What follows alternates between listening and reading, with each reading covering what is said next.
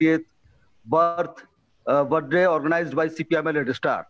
Uh, our subject is launch countrywide campaign against Manuvadi Hindutva theoretical base of RSS neo-fascism. Comrade, Shahid Bhagat Singh became the hero of the freedom struggle for his struggle against the British imperialism for sovereignty, secularism, and socialism. He wanted complete independence for the people of the country. For him, independence meant an act of exploitation of man by a man. He was not demanding mere political change, but wanted change of exploitative social order also. But we know that after the transfer of power in 1947, after more than seven decades, the dreams of Bhagat Singh like martyrs are still not materialized. So we have to find the answer uh, of the question, of this pertinent question. Uh, we have three speakers in our webinar in order to find the answers. Uh, comrade, we have Comrade Ken Ramachandran, General Secretary, CPML Registrar. We have Comrade Sharmishta Chaudhary, Politburo member of CPML Registrar. We have Comrade PJ James, Politburo member of Communist Party of India's uh, Marxist Leninist Registrar. साथियों uh, आज आप हम सबका, आपका हार्दिक स्वागत करते हैं। सभी साथियों का आज शहीद आज़म भगत सिंह की एक सौ तेरहवीं जन्म दिवस है। इस अवसर पर हमने एक वेबिनार का आयोजन किया है सीपीएमएल रजिस्ट्रार ने। वेबिनार का विषय है आरएसएस के नौ फांसीवादी जो विचारधारा का जो जिसकी जो वैचारिक बुनियाद है, मनुवादी हिंदुत्व। उसके खिलाफ एक देशव्यापी अभियान छेड़े। ये जो अभियान चल रहा है, इस अभियान की मूल भावना क्या है? किस उद्देश्य अभियान छेड़ा गया है? इस विषय पर आज हम बातचीत करेंगे हमारे वेबिनार में। आज शहीद आज़म भगत सिंह की का जन्मदिवस है। शहीद आज़म भगत सिंह एक महान क्रांतिकारी, महान शहीद थे, जो ब्रिटिश साम्राज्यवाद से चंगुल से देश को आज़ाद करने के लिए लड़े।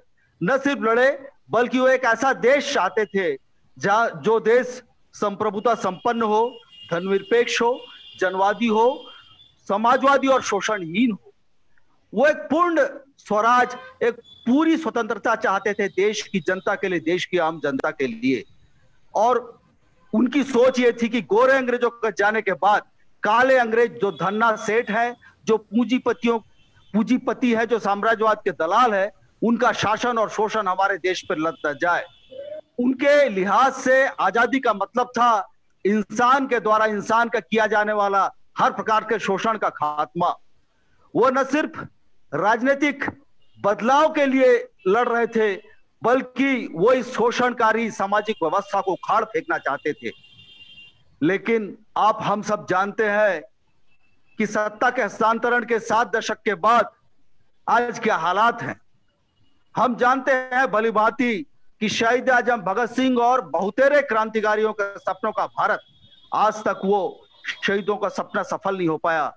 आज तक एक ऐसा भारत, जो भारत, जिस भारत को आँसू और भूख से निजात मिल जाए, जो भारत को हर प्रकार के शोषण और अत्याचार और भेदभाव से मुक्ति मिल जाए, वो भारत शहीदों का सपनों का भारत आज तक नहीं बन पाया है। तो साथियों, ये जो सवाल है, ये जो यक्ष प्रश्न है ये यक्ष प्रश्न का जवाब हम ढूँढने का प्रयास करेंगे। हमारे बीच में तीन वशिष्ठ अतिथि हैं, तीन क्रांतिकारी आंदोलन के बड़ी शख्सियत हमारे बीच में उपस्थित है। सबसे पहले मैं नाम लेना चाहूँगा कॉमरेड के एन रामचंद्रन का, जो कि सीपीएमएल स्टार के महासचिव हैं। हमारे, हमारी दूसरी वक्ता है कॉमरेड शर्मिष्ठा चौधरी, जो कि भारतीय कम्युनिस्ट पार्टी मार्क्सवादी रेड स्टार के पॉलिट ब्यूरो सदस्य हैं। तीसरी शख्सियत हमारे बीच में कॉमरेड पीजे जेम्स, जो कि सीपीएमएल रजिस्ट्रार के पॉलिट ब्यूरो सदस्य हैं। तो ये तीन वक्ता हमारे बीच में उपस्थित है। आज इस विषय पर ये मंथन करेंगे और आप सबको भी अपना सवाल पूछने की पूरी आज़ादी होगी। तो लाइए, हम शुरू करते हैं जिस ज्वलंत प्रश्न पे आज हम इस चर्चा शुरुआत करते हैं कि ये अभियान की ज़रूरत क्यों कर पड़ी तो सबसे पहले हम पूछते हैं कॉमरेड के एन रामचंद्रन, महासचिव सीपीएम रजिस्ट्रार से कि मैं चाहूँगा कि वो सबसे पहले अपना वक्तव्य इस अभियान के बारे में आपने क्या सोचा है? क्यों ये आप ये अभियान की शुरुआत कर रहे हैं? इसके बारे में आप अपनी बात रखें। Comrade K N Ramachandran ji. साथियों,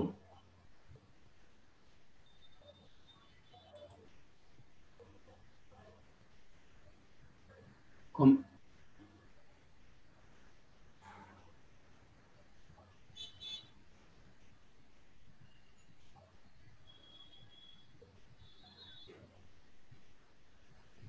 साथियों comrades and friends can you hear me can you hear me हाँ कॉमरेड हाँ आपकी आवाज़ आ रही है। प्लीज़ बोलिए। Comrades and friends today on the birthday of शहीद Bhagat Bhagat Singh we are meeting when C P M L star Uh, is starting the first phase of his campaign against the theoretical base of RSS neo-fascism. Why such a decision is taken by the party at this time? The very pertinent question many comrades may ask. The Central Committee of the CPM Star feels that today as the people are coming to the streets against the Modi government, this struggle of the people, which is going to come up more powerfully in the coming days, as we witnessed during the struggle against uh, Citizenship Amendment Act, against NPR and NRC, a mighty storm of the people struggles are going to come up definitely. But this struggle has to be complemented theoretically by attacking the RSS. This was a mistake committed by the communist movement, by the people's movement all over the country in the past days. We know in the course of, during the course of independence struggle, when, as Comrade Tuhin was pointing out, when Shahid Bhagat Singh like comrades fighting for the freedom of the country, liberation of the country, liberation of the people, were calling for a secular India, a India which has socialist aims. In 1925, the RSS was born based on the principles of fascism.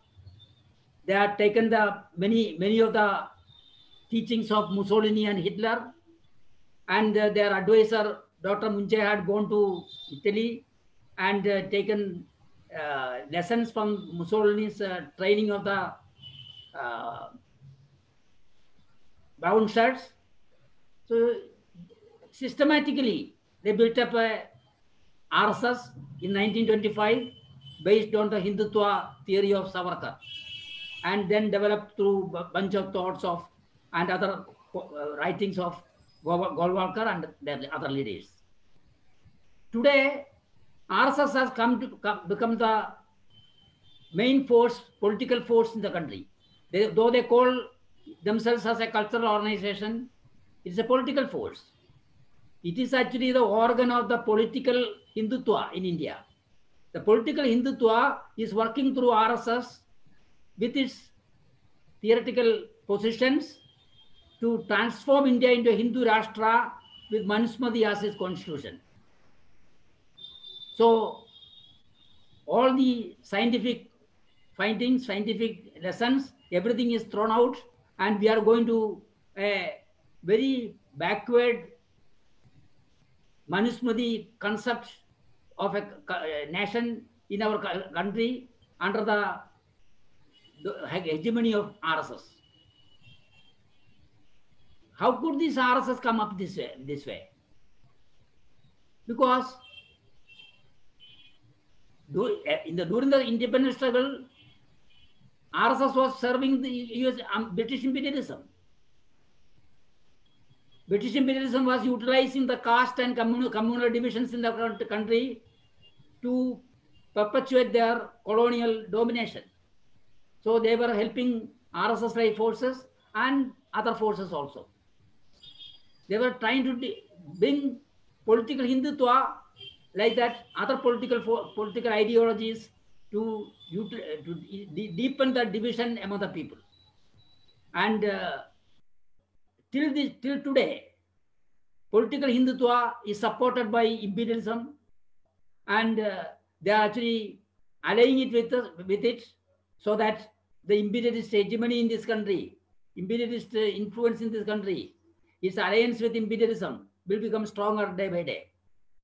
Now, when we go through the history, we can see before the independence struggle, RSS was working very hard with the new two nation theory, and they were vehemently calling for a country of the Hindus, Hindu Rashtra. And so many, many proposals for a federal India had come up, and it is because of the uh, arrogant approach of RSS like forces, no possibility of a unity based on federalism could come up during the independence struggle. And later, after the transfer of power, what, what, what happened? We know that in 1949, after the assassination of Gandhiji, RSS was banned. It was a very small force. But how could it go grow? Because the work of the RSS was done by other forces. Congress got the Babri Masjid locked out, locked down through after the Ram Lala Ra, idol was inserted inside with the help of the administration led by Congress. And later, the Hindutva forces were supported after 1952 when the parliamentary election process started. The soft Hindutva became the uh, vote bank uh, uh, influencing factor in the vote bank politics and Congress was leading the approach. And slowly, uh, though Janasangh was very weak, RSS was growing. RSS was growing systematically because nobody was opposing, nobody was targeting RSS. When RSS was formed, when uh, Bhagat Singh came forward with his uh, uh, Hindustan Republic, Republic Army and the Naujawan Bharat Sabha, in, in their in its program, in their programs, he had very clearly mentioned, we don't want a communal India. We want an inclusive India with all the forces going towards socialism. And he said, when the white sahibs may go, but it should, and they may be replaced by the black sahibs, that is not sufficient. We have to change the society. That is why he gave the slogan Inqilab Zindabad. So there was opposition to RSS in the beginning. And there was opposition to RSS from the uh, Dalit sections also. In Mah- during Mahad Mahad struggle in 1927, Manusmriti was burned. When RSS took up Manusmriti as theoretical base, in 1927, Mahad struggle of the uh, Dalit women and other sections led by Dr. Ambedkar, Manusmriti was burned, challenging the RSS, uh, taking up Manusmriti as its theoretical base. So from Dr. from Shahid Bhagat Singh side and the, from the revolutionary side, as well as from uh, Dalit forces led by Dr. Ambedkar, the challenges, challenge was there. But this challenge was not carried forward. The struggle against RSS was not carried forward. So after 1947, as all the uh, ruling class parties took soft Hindutva as one of their vote bank politics issues, the RSS got a fertile land, fertile soil to grow. And they were growing. And by 1980s, we, we, we can see how RSS helped the Congress in the anti-Sikh ma massacre and later in 1984 elections, RSS supported Congress. Definitely there was an understanding. And when Rajiv Gandhi came to power, one by one, they got their uh, demands accepted, implemented. And uh, um, in in uh, uh, a governor was sent to a governor was sent to what is it? Um, a, a governor was sent to uh, Jammu Kashmir who was an RSS cadre who had created havoc in, in Delhi by uprooting slums, especially the slums where Muslims were living. And he was sent to uh, Jammu Kashmir as governor under the what's a uh, demand of RSS, and he created conditions for the pandits. All the pandits were staying there up to that time, and he created conditions for the pandits to leave Jammu Kashmir, creating a opening for the RSS to vulgarize the situation. The ruling parties to vulgarize the situation in Jammu Kashmir, and he, the RSS could compel the Rajiv Gandhi government to open the uh, Babri Masjid for Shilanyas.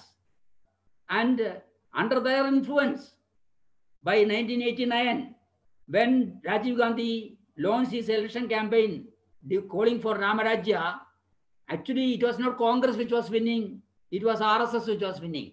And RSS, under the RSS Parivar immediately took up the Rath and what happened later that we know.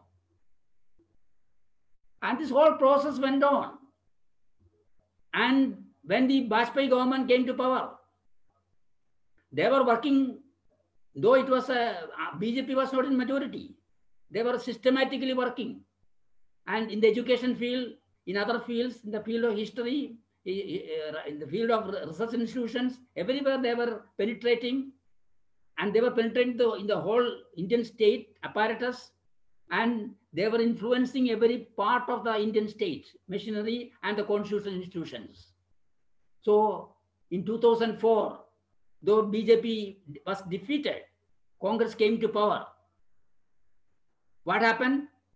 Instead of making rectifications, reducing the influence of RSS, RSS Parivar in the state apparatus and the field of political, uh, uh, uh, other, other, other constitutional institutions.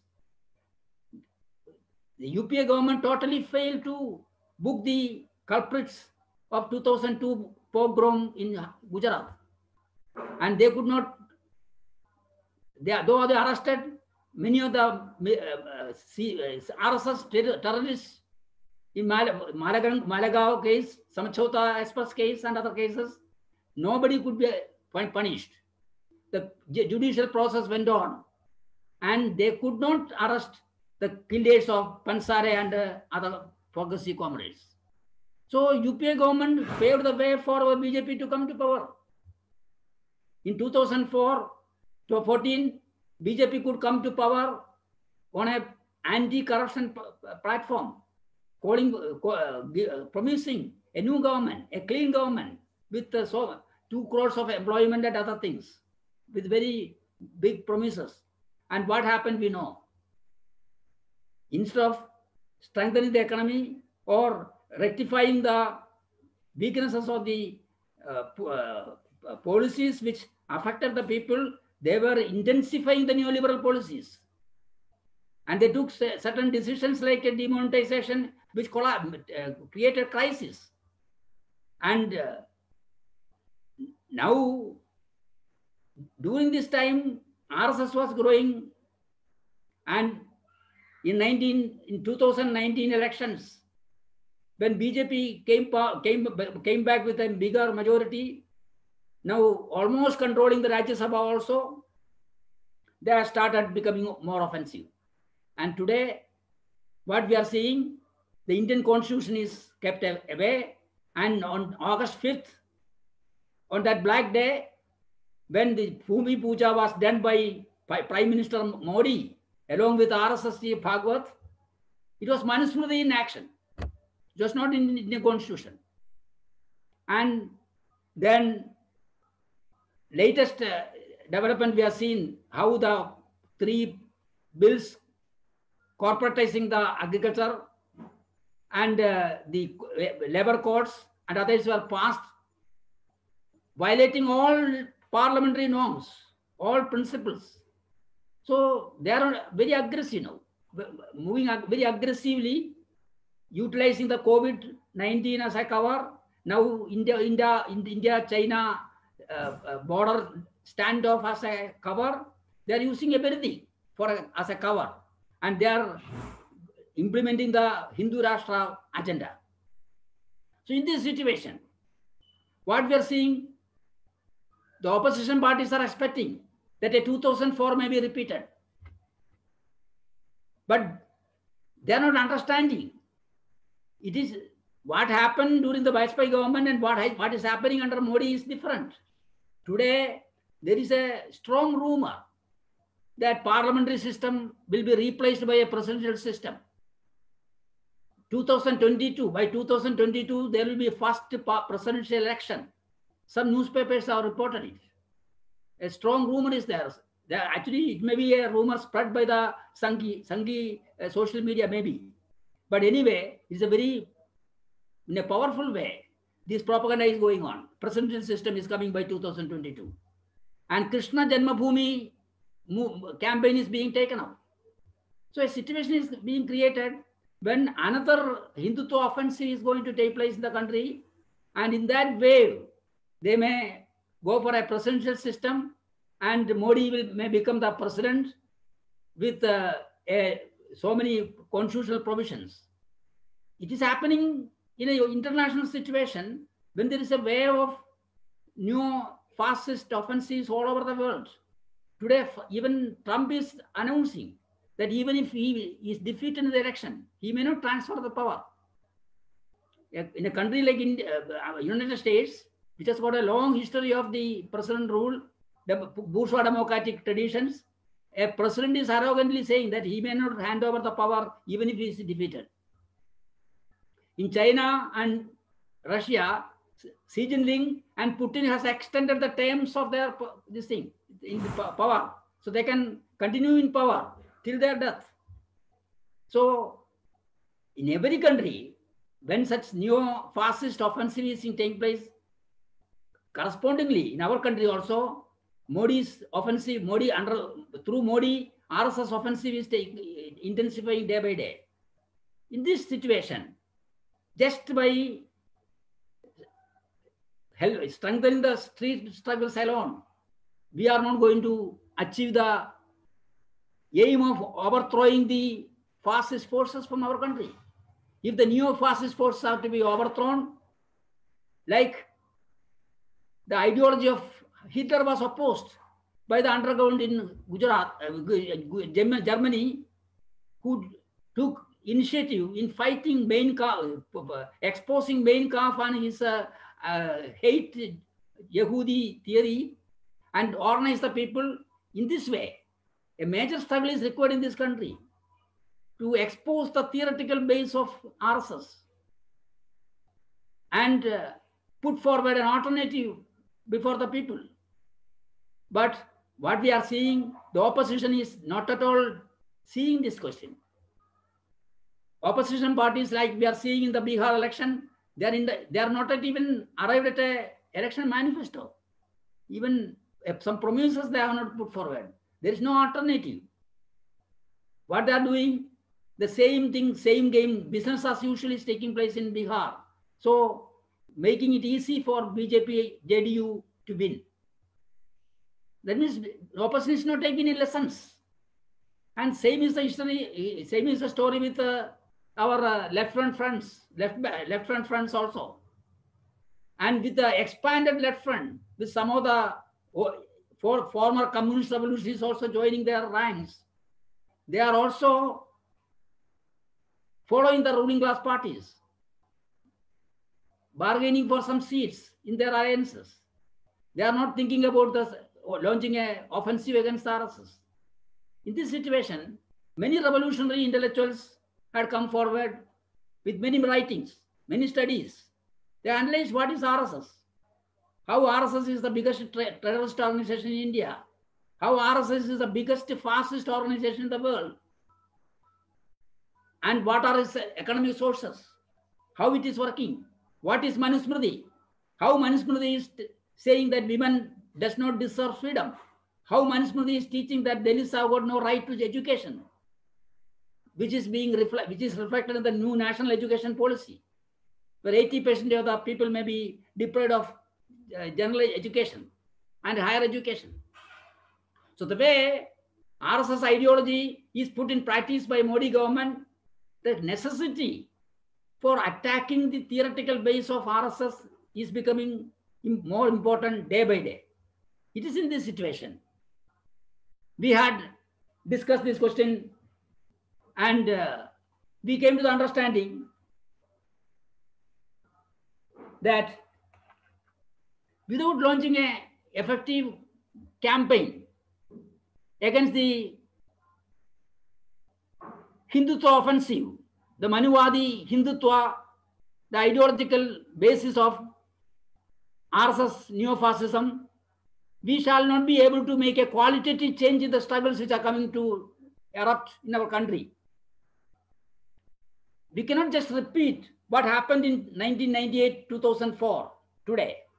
1998 to 2004, when the struggle was waged against the Bajpayee government, there should be a qualitative change in the struggles today. Otherwise, no repetition of UPA rule like things are going to happen in India. Already Shah has said, we are going to be in power for 50 years. He's openly saying, we are going to be in power for 50 years. So they are making the plans. Election Commission, Supreme Court, the military uh, top brass, the, the bureaucrats, the police, everybody, everybody is under their control.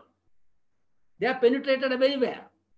So they are, when Amit Shah is saying that we will be in power for 50 years, so he is, based on this, he's, he's talking about the coming days. What will be the political perspective in the coming days? So we can expose and weaken the RSS forces only when we attack, attack their theoretical base. So what is their theoretical base? They, they are claiming that uh, Aryans are the original inhabitants in our country. And they are, from that, that position, they are taking the div divine permission to have the Varna system. And uh, for they are using the Hindu, Hindu, Hindu, Hindu religious scripts where the, all these things are inscripted to take to the people, to dominate the thinking of the people in a Hindutva way. And for that, they're organizing millions of youth. And uh, they're training the millions of youth in RSS, and they are sending millions of youth for bringing Ganga water. So many things are being planned by RSS Parivar, influencing all these sections. And uh, they are actually recruiting from the lowest sections also. Utilizing the new theory now they are putting forward. Caste harmony. They are talking about caste harmony to strengthen uh, Varna caste system. What they are saying that every caste section will be represented and they are trying to organize every subcaste and they are trying to assimilate all of them to their political stream utilizing the neo-brahminical forces who have emerged even among the most backward sections through reservation. Are, these forces, the neo-brahminical forces are being utilized who, have, who talk about Ambedkar, but they are new Ambedkarites. They are not Ambedkarites, they are new Ambedkarites who have abandoned the Ambed Ambedkar slogan of caste annihilation. So it's a very dangerous situation we are facing now. And among the Adivasis, they are telling them they are Vanavasis. Though Adivasis also belong to the original inhabitants of this uh, subcontinent, they are told that you are Vanavasis and uh, you will be thrown out, but you can become part of the Hindutva. And so Hindu gods are being imposed on the Adivasis. In Adivasi temples, where they use red flag, in Adivasi temples use red flag in the temple flags. In Udaipur, recently, they inserted a saffron flag, which the Adivasis removed, and the fight is going on now. So everywhere they are penetrating. Everywhere they are penetrating ideologically. Everywhere they are trying to impose the Hindutva ideology. So in this situation, how to fight this? How to fight this thing?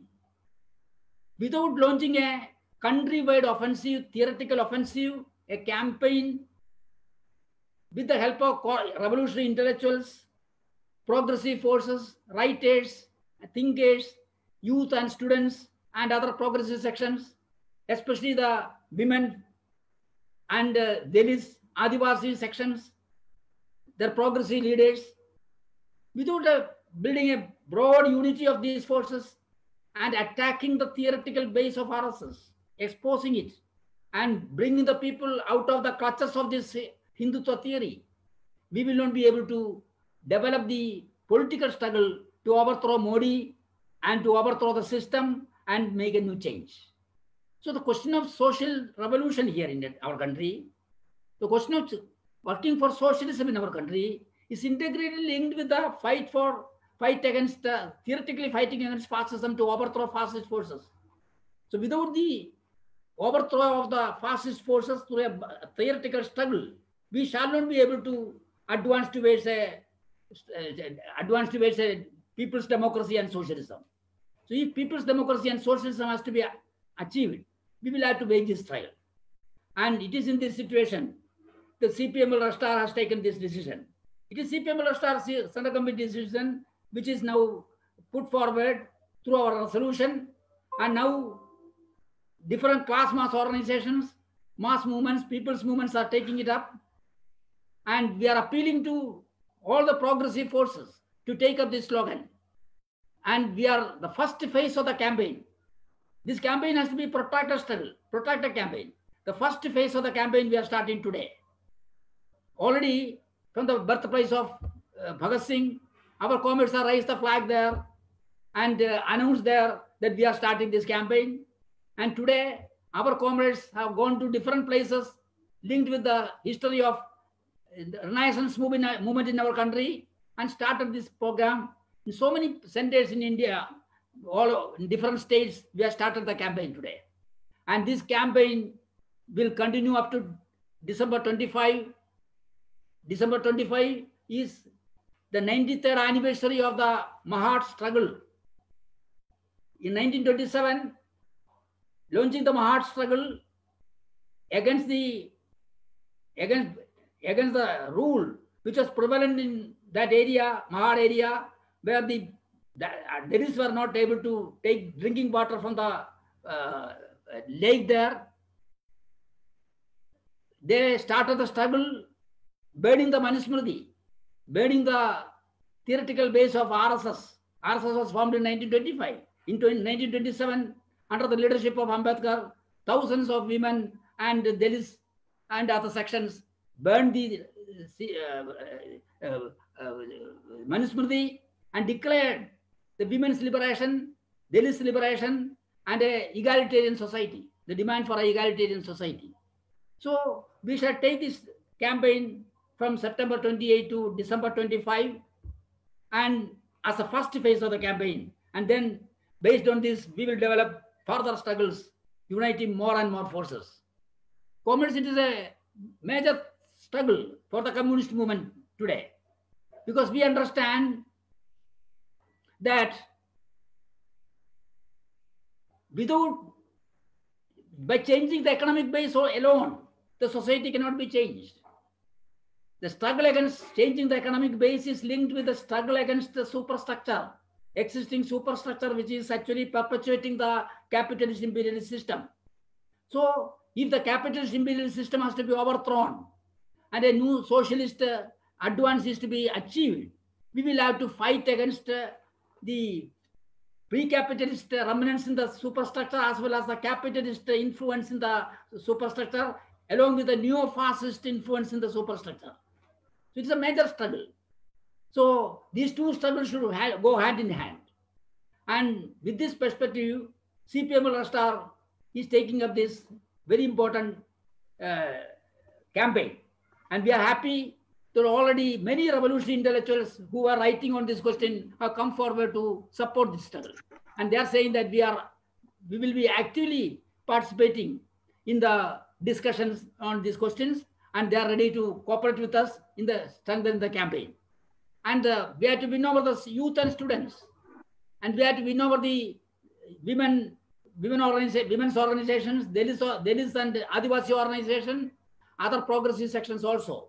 And we have to make it a powerful campaign challenging the RSS, higher RSS uh, uh, uh, system of Hindutva, the Manuvadi Hindutva ideology, the theoretical base of RSS neo-fascism. So comrades, this CPML Red Star slogan, we have to carry forward and we hope that this discussion will be giving a good beginning to for launching this campaign. Thank you, comrades. Red salute to all of you. Uh, comrade K. Ramachandran Jino ने जो वो इस प्रकार था कि ये जो हमारा अभियान है, आरएसएस के नौ फांसीवाद के, वैचारिक आधार, मनुवादी हिंदुत्व के खिलाफ इस अभियान का प्रथम चरण की शुरुआत आज से हम कर रहे हैं। और आज की तारीख में पूरे देश में लोग सड़कों पर उतर रहे हैं। आने वाले दिनों में ये मोदी सरकार के खिलाफ आक्रोश और बढ़ते रहेगा। और हमने जनवरी के माह में प्रत्यक्ष किया था कि सी एनआरसी एनपीआर के खिलाफ जिस प्रकार से जनता का हुजूम सड़कों पर उभरा था और शासक वर्ग में कपकपी दौड़ दौड़ गई थी उस प्रकार की स्थिति और उससे भी तेज उससे भी बड़ी स्थिति आने वाली है। साथियों ऐसी ऐसे हालात में आ, कई ये सवाल सामने आता है कि हमने ये अभियान की शुरुआत क्यों की? तो आप जानते हैं कि आ, आज स्वतंत्रता संघर्ष के महान योद्धा शहीद आज़म भगत सिंह की 113वीं उनकी वर्षगांठ है। और शहीद आज़म भगत सिंह भारत में स्वतंत्रता संग्राम के वैसे वो अप्रतिम व्यक्ति थे जो हमेशा बोलते थे कि हमें काले अंग्रेज़ों की जगह गोरे अंग्रेज़ों की जगह, काले अंग्रेज़ों का शासन नहीं चाहिए। हमें एक मेहनत कशों का भारत, एक शोषणहीन भारत चाहिए। भगत सिंह जिस दशक में सबसे ज़्यादा सक्रिय थे बीसवीं शताब्दी के तीसरे दशक में उस समय 1925 में ब्रिटिश साम्राज्यवाद के आ, मदद से राष्ट्रीय स्वयंसेवक संघ का गठन हुआ। आरएसएस के गठन के बाद लगातार हमारे देश की फिजा में जो जहर खोलने का काम किया जिस तरीके से ब्रिटिश साम्राज्यवाद की सेवा आरएसएस ने की वैसा और किसी ने नहीं किया। तो राष्ट्रीय स्वयंसेवक संघ के बहुत बड़े परामर्शदाता थे डॉक्टर मुंजे। जो कि हेडगेवार और आपके सावरकर के मित्र थे। डॉक्टर मुंजे को भेजा गया यूरोप। डॉक्टर मुंजे इटली में फांसीवाद के उत्थान के बाद मुसोलिनी के सत्तासीन होने के बाद उनसे मिले और वहाँ पर वो जो फांसी पार्टी है मुसोलिनी की, उस फांसी पार्टी के जो कैडर थे फासिस्ट तरीके से, जो बहुसंख्यकवाद, जो जो इटालियन पूंजीवाद की बेशर्मी से मद, मदद कर रहे थे और जनता पर दमन कर सारे चीज़ों को देखा और वो देख कर आके हमारे देश में जो आरएसएस की शाखाओं की शुरुआत हुई और सैनिक स्कूल की शुरुआत हुई ये आज परवान चढ़ चुकी है। ये आरएसएस कहता है कि ये एक सांस्कृतिक संगठन है लेकिन ये कहीं से भी ये बहुत बड़ा झूठ है। ये कहीं से भी सांस्कृतिक नहीं है बल्कि एक राजनीतिक संगठन है। ये राजनीतिक हिंदुत्व के लिए ही ये बना है संगठन। इसका मूल उद्देश्य यह है कि मनुस्मृति पर आधारित एक हिंदू राष्ट्र, धन्ना सेठ, कॉरपोरेट और साम्राज्यवादियों के दलालों का एक हिंदू राष्ट्र, जिसमें आम जनता मेहनत कशों गरीबों की कोई भागीदारी नहीं होगी। तो ऐसे एक खतरनाक सोच वाले, ऐसे एक आतंकी संगठन आरएसएस, जो कि अंग्रेज़ों की दलाल थी, उसको अंग्रेज़ों ने क्यों बढ़ने दिया? क्योंकि अंग्रेज़ तो चाहते ही थे हमारे देश में मज़हब और जाति के नाम पर फूट पड़े। फूट डालो राज करो नीति अंग्रेज़ों की थी। अंग्रेज़ों ने बिल्कुल भी यहाँ पर जाति व्यवस्था को छुआ तक नहीं। अंग्रेज़ों ने उतना ही किया जितने करने से उनका काम चल जाता। और बाकी सारी जो प्रतिक्रियाशील शक्तियों को उन्होंने मदद किया। और इस तरीके से आरएसएस आगे बढ़ते रहा। उन्नीस सौ उनचास में गांधी जी की हत्या के बाद कुछ दिनों तक इस पर प्रतिबंध लगा, लेकिन सत्तासीन कांग्रेस नहीं कुछ कुछ समय बाद इसे हटा दिया। और आरएस को, आरएसएस को पूरा फलने फूलने का मौका दिया। आरएसएस को चुनौती देने वाला कोई संगठन हुआ ही नहीं। आरएसएस की विचारधारा के खिलाफ वैचारिक रूप से हमला करने वाला कोई संगठन इस दरमियान को किसी ने ऐसा पहल नहीं किया। हम देखते हैं कि कालांतर में जो कांग्रेस स्वतंत्रता संग्राम का लाभ उठाते हुए साम्राज्यवाद के प्रमुख अनुयायी के रूप में सत्ता के हस्तांतरण में इसको लाभ हुआ और इसने वोट बैंक की राजनीति के आधार पर तमाम जातिवादी और धार्मिक और सांप्रदायिक संगठन को फलने फूलने दिया। इस तरीके से धर्म निरपेक्षतावाद की इसने धज्जियाँ उड़ा दी। और ऐसे हालात में हम देखते हैं कि 1986 में राजीव गांधी ने अयोध्या में जो बाबरी मस्जिद, उसका ताला खुलवा दिया। और आप जानते हैं कि उसके बाद ताला खुलने के बाद में जिस ढंग से भानुमति का पिटारा खुल जाता है तो क्या होता है? उस तरीके से उसके बाद तेज गति से एक से बाद एक घटनाएँ घटने लगी। उन्नीस में इंदिरा गांधी की हत्या के बाद जो चुनाव कांग्रेस ने लड़ा, उसमें आरएसएस ने उसकी पूरी मदद की। कांग्रेस कांग्रेस की सॉफ्ट हिंदुत्ववादी नीति को आरएसएस ने उसको बढ़ाया और जो इंदिरा गांधी की हत्या के बाद जो सिखों के खिलाफ जो हत्याकांड जो भी हुआ, जो कांग्रेस कार्यकर्ताओं के साथ साथ उसमें आरएसएस के कार्यकर्ता भी थे, लेकिन उसे बुला दिया जाता है। और इस तरीके से ये जो जहरीला एक संगठन है, ये लगातार फलता फूलता रहा।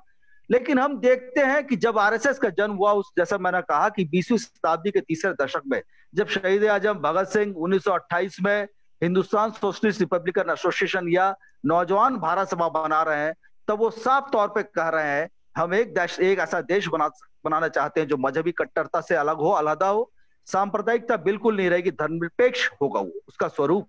और ठीक उसी समय हम देखते हैं कि उसी दशक में जो आज़ादी के लड़ाई के साथ साथ जो समाज सुधार का जो आंदोलन चल रहा था, नवजागरण को जो आंदोलन चल रहा था, धार्मिक कट्टरपंथ के खिलाफ, अंधविश्वास के खिलाफ मानव की मुक्ति के लिए, स्त्रियों की आज़ादी के लिए मानव मानव के शोषण के खिलाफ तो हम देखते हैं कि आगे जाकर बाबा साहब अंबेडकर के नेतृत्व में उन्नीस सौ सत्ताईस में 25 दिसंबर को महाड़ में सैकड़ों हज़ारों दलितों और महिलाओं ने मिलकर मनुस्मृति, जो कि उत्पीड़ित वर्ग और महिलाओं के लिए गुलामी का प्रतीक है, जिसे आरएसएस भारत पर लादने की शुरुआत कर चुकी है, उसका दहन किया गया सार्वजनिक रूप से। उस समय एक बहुत बड़ा चोट था, ये आरएसएस के हिंदुत्ववादी, उसके जो राजनीतिक हिंदुत्व पे। लेकिन कालांतर में इस प्रकार का कोई राजनीतिक आक्रमण, वैचारिक आक्रमण उसके खिलाफ हुआ नहीं। इस संघर्ष को आगे नहीं बढ़ाया जा सका। कांग्रेस तो हाथ धो चुकी थी, कोई किसी भी प्रकार के वैचारिक संघर्ष से, और वो तो जगमोहन जैसे आरएसएस के कैडर को गवर्नर बनाकर जो दिल्ली में झुग्गी झोपड़ी को उजाड़ा था, उसे जम्मू कश्मीर भेजकर सांप्रदायिक विभाजन को बढ़ाया। जगमोहन ने वहाँ से कश्मीरी पंडितों को वहाँ से हटने में, उनको भगाने में मदद की, पूरे राजकीय आयोजन में सब कुछ हुआ। और वो उन्नीस सौ नवासी में जो अयोध्या में राम मंदिर का जो मतलब शिलान्यास ये भी राजीव गांधी की पहल से हुआ। और चुनाव में राजीव गांधी ने रामराज लाने का वा, वादा किया। तो सब चीज़ों को हम देखते हैं कि किस तरीके से धर्मनिरपेक्षता की धज्जियाँ उड़ाई गई। और आगे जाकर वाजपेयी सरकार जो जो उसका पहला दौर था उस दौर में आरएसएस को शिक्षा में संस्कृति में आ, हर क्षेत्र में घुसने का मौका मिला।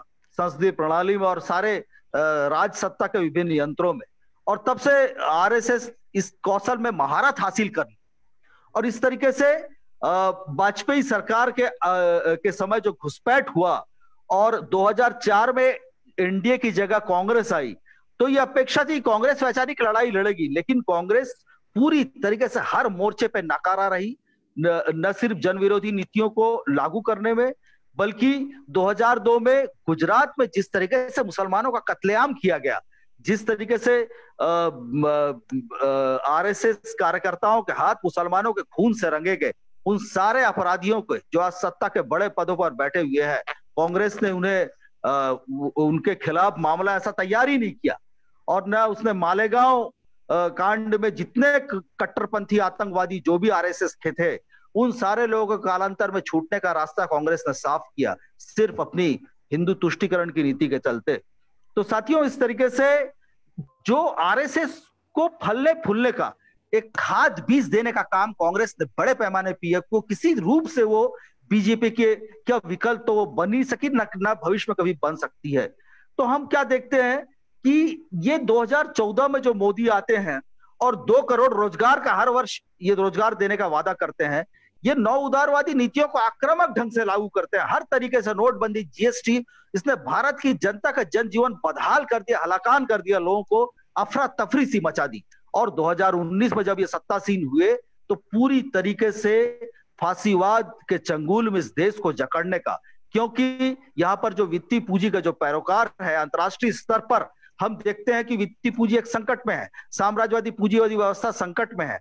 इसीलिए उसको फांसीवादी तौर तरीकों को अपनाने की ज़रूरत है, न सिर्फ़ भारत में, बल्कि अमेरिका में, ट्रंप प्रशासन से लेकर आप सब तरफ़ देख लीजिए, नवफासीवाद का उभार है और हर जगह जनतांत्रिक जनवादी जो भी आंदोलन, वो लघु होते जा रहे हैं, वो खत्म होने की कगार पे है।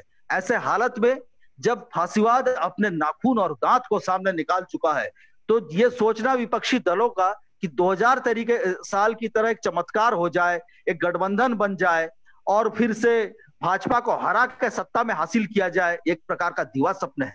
वो ये नहीं देख पा रहे हैं कि ये कोई सामान्य सत्ता परिवर्तन नहीं है। और हमारे तथाकथित जो वामपंथी बंधु हैं, जो वाम मोर्चा के साथी, वो भी ये समझ नहीं पा रहे हैं कि आरएसएस के खिलाफ वैचारिक लड़ाई लड़े बिना कांग्रेस को साथ देने से फिर से बीजेपी अभी इस बार हार जाएगी तो अगले बार और ताकत से आएगी। तो इस तरीके से विपक्षी दलों का जो गठबंधन का कोई, उनका कोई विचारधारा नहीं है। आरएसएस के राजनीतिक हिंदुत्व को चुनौती देने की कोई योजना नहीं है नहीं जो तथाकथित जो वाम मोर्चा है उसकी कोई योजना है न जनता के सामने ये खड़े होकर ये चुनौती लेने को इच्छुक है। तो ऐसे हालात में जब अंतर्राष्ट्रीय स्तर पर एक वैचारिक रूप से साम्राज्यवाद फांसीवाद को नए रूप से हमला कर रहा है नव फांसीवाद का हमला हो रहा है तो आ, हम क्या करें? क्या हम चुपचाप बैठे रहें? तो साथियों ऐसे हालात में जबकि हम देखते हैं जिन्हें मुख्य धारा के वामपंथी कहा जाता कुछ एक सीटों के तालमेल करने के लिए और राष्ट्रीय दल के रूप में अपना अस्तित्व को टिकाए रखने की जद्दोजहद करते हैं। तो ऐसे हालत में हम ऐसे स्थिति को ऐसे हालात को हम स्वीकार नहीं कर सकते। हमारी शक्ति कितनी भी छोटी हो, भारत की कम्युनिस्ट पार्टी मार्क्सवादी लेनेवादी रेड स्टार के, लेकिन इस चुनौती को लेने के लिए हम आगे आने को पूरी तरह इच्छुक हैं। हम इस चुनौती को लेते हैं हमको मालूम अकेले हम यह काम नहीं कर सकते। इसीलिए हम तमाम क्रांतिकारी बुद्धिजीवियों को, तमाम क्रांतिकारी जनवादी प्रगतिशील ताकतों से हम आह्वान कर रहे हैं कि इन फासिस्ट ताकतों को उखाड़ फेंकने के लिए जिस तरीके से हिटलर की जो सोच थी, जर्मन शुद्ध आर्य रक्त को ही रहने दिया जाए, बाकी अनारियों को सबको खदेड़ा जाए, खत्म कर दिया जाए इस, इन नस्ल को। ये खतरनाक नस्लवादी फासिस्ट सोच हम देखते हैं, गोलवाल करके बंच ऑफ़ थॉट्स में हम मनु संहिता में देखते हैं, जो आरएसएस भारत के संविधान के सकारात्मक पहलुओं को पैरों तले रौंद कर हम देखते हैं कि छह अगस्त को क्या हुआ। जब राष्ट्र के प्रमुख लोग, ये सारे लोग, एक प्रमुख सांप्रदायिक आतंकवादी संगठन आरएसएस प्रमुख के साथ मिलकर ये भूमि पूजन करते हैं और इसके साथ साथ मनु संहिता को लागू करने की घोषणा करते हैं, हिंदू राष्ट्र को निर्माण करने की घोषणा करते हैं। ऐसे हालात में जनता के सामने, क्रांतिकारियों के सामने दो ही विकल्प रह जाते हैं। या तो बिना कोई सवाल उठाए इसे सहन करें, या तो फिर इसे चुनौती दे। और इसकी ईट से ईट बजाएँ। तो इसीलिए साथियों, इसकी ईट से ईट बजाने की ज़रूरत है। और इसी उद्देश्य के साथ सीपीआई रेड स्टार तमाम मेहनत कशों से, तमाम दलित संगठनों से, आदिवासी संगठनों से, महिला संगठनों से, तमाम उत्पीड़ित वर्गों से, अल्पसंख्यकों से आह्वान करता है कि अगर मनु संहिता लागू हो गया, अगर गोलवलकर के सपनों का भारत, सवरकर के सपनों का भारत, सपनों का हिंदू राष्ट्र लागू हुआ वो अंबानी अडानी का हिंदू राष्ट्र है वहाँ जनता के लिए कोई भी मौलिक अधिकार, कोई भी इंसानी हक हुकूक नहीं रह जाएगा। ऐसे हालात में हमें एक जनवादी भारत, एक समाजवादी भारत की रचना करने के लिए, एक समतावादी भारत की रचना करने के लिए इसकी जो तमाम नीतियाँ हैं, इसकी राष्ट्रीय शिक्षा नीति, जो कि शिक्षा का व्यापारीकरण, भगवाकरण कर रही, इसकी तमाम नीतियाँ जो कि किसान, किसानों कृषि के कॉरपोरेटीकरण का करना या मजदूरों के तमाम श्रम अधिकारों को खत्म करके उन्हें कूड़े मकोड़ों की तरह जीवन जीने को गुजर बसर करना तमाम नीतियाँ धन्ना सेठों और कॉरपोरेट के लिए है और इसके ऊपर पर्दा डालने के लिए हिंदू राष्ट्र का जो जहरीला सोच है। तो साथियों, इस विष बेल को खत्म करने का समय आ गया है। इसीलिए सीपीएमएल रजिस्ट्रार ने यह आह्वान दिया है कि 28 सितंबर को शहीद आज़म भगत सिंह के जन्म दिवस से हम आरएसएस का नौ फांसीवादी जो इसकी विचारधारा है, इसकी वैचारिक बुनियाद है, मनुवादी हिंदुत्व इसके खिलाफ हम चुनौती से दे, इसके खिलाफ वैचारिक अभियान की शुरुआत करें। और ये अभियान का पहला दौर 25 दिसंबर को, जबकि तिरानवेवी वर्षगांठ है, मनुस्मृति के दहन करने की, तब तक हम चलाए, इसे हम मनवरत रूप से लगातार हमको चलाना है। आज हमारे साथी पंजाब में, शहीद आज़म भगत सिंह का जो पुस्तैनी गाँव है, जहाँ पर उन्होंने अपना बचपन बिताया है, खटखट कला, वहाँ पर गए, वहाँ पर सभा लेके उन्होंने आरएसएस का नौ फांसीवाद के खिलाफ अपने वैचारिक अभियान की शुरुआत की। और शहीद भगत सिंह के पथ पे चलने का अंगीकार उन्होंने किया। इस अभियान को चलाने की हम घोषणा कर चुके हैं। हम तमाम जनवादी क्रांतिकारी प्रगतिशील ताकतों से आह्वान करते हैं कि आइए हम सब मिलकर इस आरएसएस के नव फांसीवाद के खिलाफ, इसके वैचारिक आधार के खिलाफ हम सब मिलकर एक होकर लड़े। हम एक ज़बरदस्त अभियान चलाए।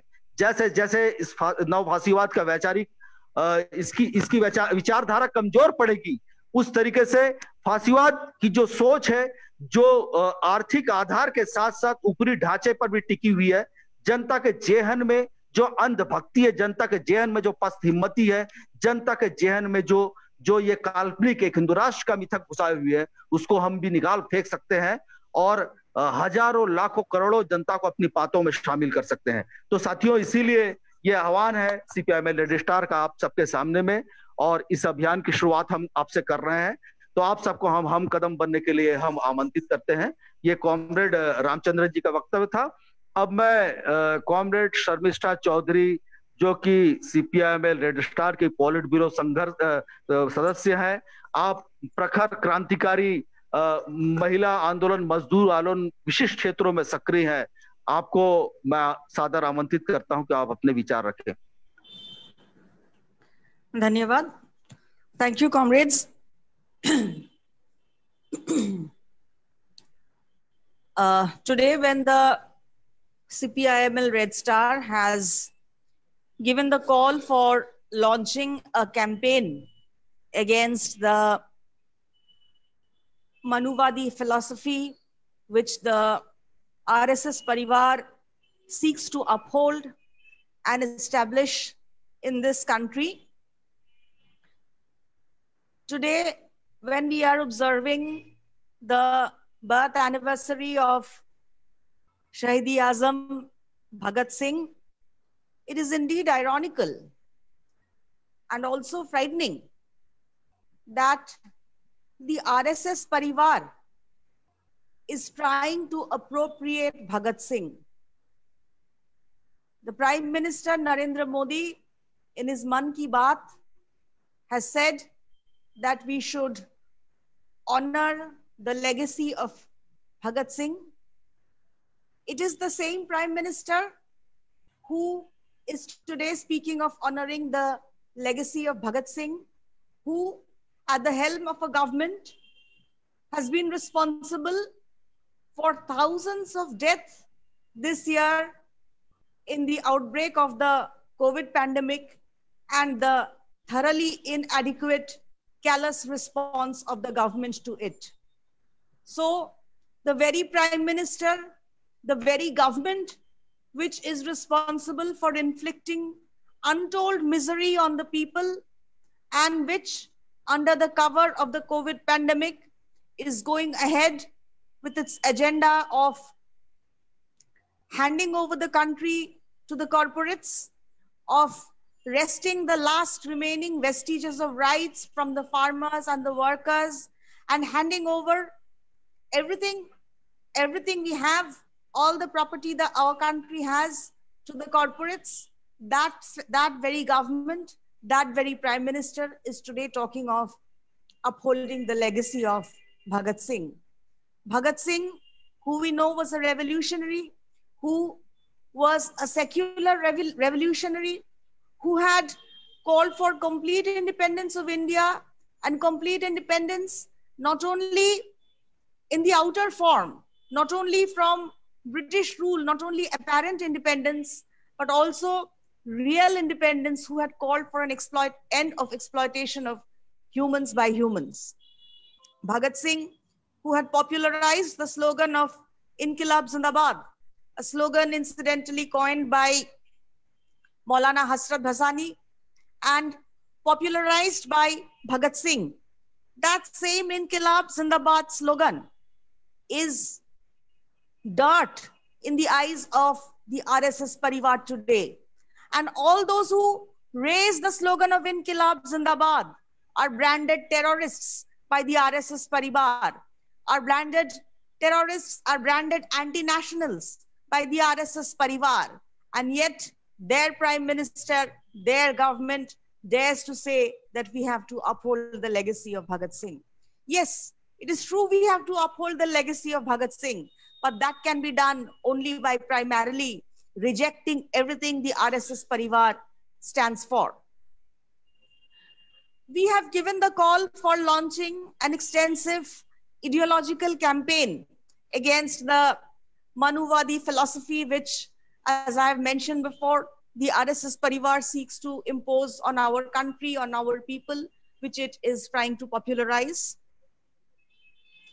Uh, before I go into that, I would also uh, I would also like to take the opportunity to say that today is also the martyrdom day of uh, another great visionary, uh, Shankar Guha Niyogi, who was uh, who tried to uh, organize the working class against exploitation, and who was murdered by the agents of the corporates in broad daylight, and whose murderers were never punished. So, uh, hmm. now about this ideological campaign against Hindutva. Apparently, all the opposition parties apparently all the opposition parties claim that they are great secularists. And the bjp is the only uh, non-secular party. But if we look closely we shall see that the Sangh Parivar, the RSS Parivar has been able to develop into this monster today precisely because the opposition precisely because the opposition did not bother to stick to the tenet of secularism or purposely, deliberately misinterpreted the tenet of secularism. What does secularism mean? Secularism does not mean that the state, the government, the state will look at all religions uh, with equal favor Secularism does not mean that the state will bestow equal favor on all religions. On the contrary, secularism means that the state shall be divorced from all religion. There shall be a complete separation between state and religion. But what have our politicians done? What have all the non BJP parties done in their so many years in power? They have interpreted secularism to mean bestowing equal favor on all religions. And naturally, when you interpret secularism to mean bestowing equal favor on all religions, you end up bestowing more favor on the majority religion than on the minority religion or religions. And the rift continues to widen. It is not possible to bestow equal favor on two things. If one is vastly major in quantity and the other is much minor in quantity, you cannot be equal to both. You cannot behave equally to both if you have to really talk of equality, if you have to really talk of equity. But what did we see? That in the name of bestowing equal favor to all religion, actually Hinduism. Hinduism as the state religion was unofficially promoted by all the non-BJP parties in power till BJP did it far more skillfully and snatched state power away from them. To give an example, in the long years before BJP took over state power, in the long years before BJP won the elections and uh, came to government, uh, any inauguration, any inauguration of a government project would invariably include the cracking of a coconut, the lighting of diyas, all the Hindu rites. This happened unchallenged. This went on unchallenged. And this went on in the name of secularism. All parties indulged in this behavior. All ruling parties engaged in this behavior. And as a result, the path for the rise of the BJP was paved. Secondly, this is the first point. Secondly, when the non BJP parties today try to fight against the Hindutva or the non-secular uh, non-secular ideology that the RSS Parivar is trying to promote. What do they do? They end up they end up pitting people against each other. But what do we, what do we as secularists, as communists, what do we have to bring forward to the people? What do we have to show to the people?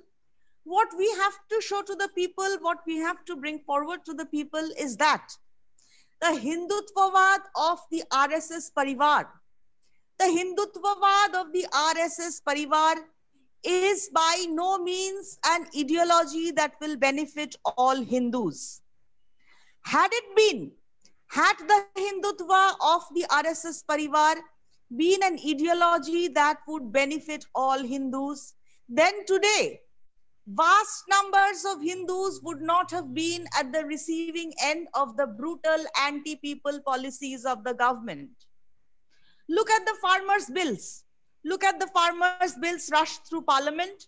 Three farmers' bills, which the president has signed and which have now become laws, which seek to open the uh, farming sector to the corporates far more widely than ever before, which seek to snatch away the uh, last vestige of uh, the farmers' rights and seek to pitch the farmers against the corporates on a very unequal playing ground. So, who are these uh, new farm laws going to affect the most? It's going to affect 80% of our peasants, of our working people who are the peasants. India is uh, uh, primarily uh, uh, it is an agricultural economy. So it is going to affect the peasants. Now who are these peasants? Are these peasants all muslims? Are the majority of these peasants muslims no not by a long shot so what do we see we see that actually the policies brought about by the bjp the laws implemented by the bjp the laws championed by the rss parivar it is going to strike at the hearts of millions of Hindu peasants. Who are the peasants committing suicide? Who are the peasants taking to the streets in Punjab and Karnataka? Who are the peasants who are burning the burning copies of the laws? Who was the peasant who committed suicide in front of the house of the Punjab chief minister? Were they all Muslims? The RSS would have us believe that the Muslims are the enemies of this of this country. And without the Muslims, we would we would have been a happy country. We would have been a a, a, a rich country. But look at what the RSS Parivar is doing. Look at the laws it is bringing. Who are these laws affecting? The labor laws, the new labor laws, the new labor codes. Who are they affecting? They are affecting the large majority of our working population who are Hindus. So, this Hindutva this brand of Hindutva of the RSS, a brand of Hindutva which does nothing for the common uh, religious minded Hindu man or woman, which paves the way for death of the common religious minded Hindu man or woman. This is actually the nature of the, the real nature of the Hindutva which the RSS is trying to uphold which the Sangh Parivar is trying to impose on our country. A brand of Hindutva which actually kills Hindus. A brand of Hindutva which actually kills Hindu peasants, which kills Hindu workers, which kills Hindu toiling people. And of Hindu women, we shall go into that later.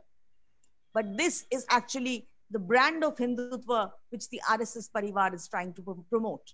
So this is something which we have to expose in the course of our ideological campaign that Hindutva do not be blinded by the promise of Hindutva or the promise of a Hindu Rashtra, which the RSS is dishing out so lavishly. Actually, it will not be a Rashtra, it will not be a country for the common toiling Hindu, ma Hindu man. It will be a country of for the corporate fascists, it will be a country for the corporates, in which, in which the Ambanis and the Adanis, in which the Nirav Modis, they will hold sway. They will take out, take, they, they will, they will rob us of all our wealth. They will take away our money. They will take away our agriculture. They will take over, take over our industry. And the common Hindu man, the common Hindu woman will be left to beg on the streets, will be left as, will be left as, will be reduced to paupers. So this is actually the Hindu Rashtra, which the RSS Parivar is trying to give you. So this is another important aspect of the offensive. The third aspect is, of course, the question relating to the oppressed sections of society. Manusmriti, the Manusmriti which the RSS Parivar would have us venerate. So first of all, there is no single Manusmriti. At least 50 different man, uh, manuscripts of the Manusmriti are available. And each manuscript is contradictory to the other.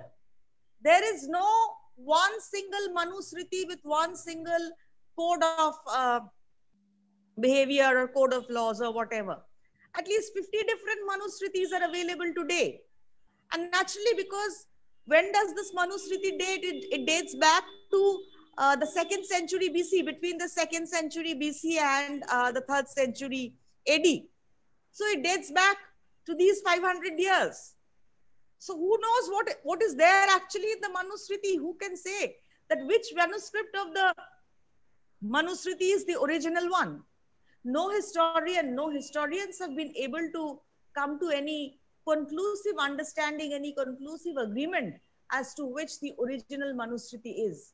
So as I said, at least 50 varieties, 50 versions of the manuscripts of the Manusmriti are available and each are each is widely in uh, contradiction with the other. Uh, here I would like to point out, uh, before I go into uh, this point further, I would like to uh, just make, make note of a point of interest. Manusmriti. Manusmriti was actually praised by the German philosopher Nietzsche. Nietzsche had uh, said that, said something like, uh, turn your eyes from the Bible and turn to the Manusmriti. Manusmriti had been praised by Nietzsche. And who was Nietzsche? Nietzsche was the philosopher who was revered by Hitler. Nietzsche was the philosopher who was quoted by Hitler in his Mein Kampf. Nietzsche was the philosopher from which the militarist fascists got their philosophical base in uh, the early years of the 20th century.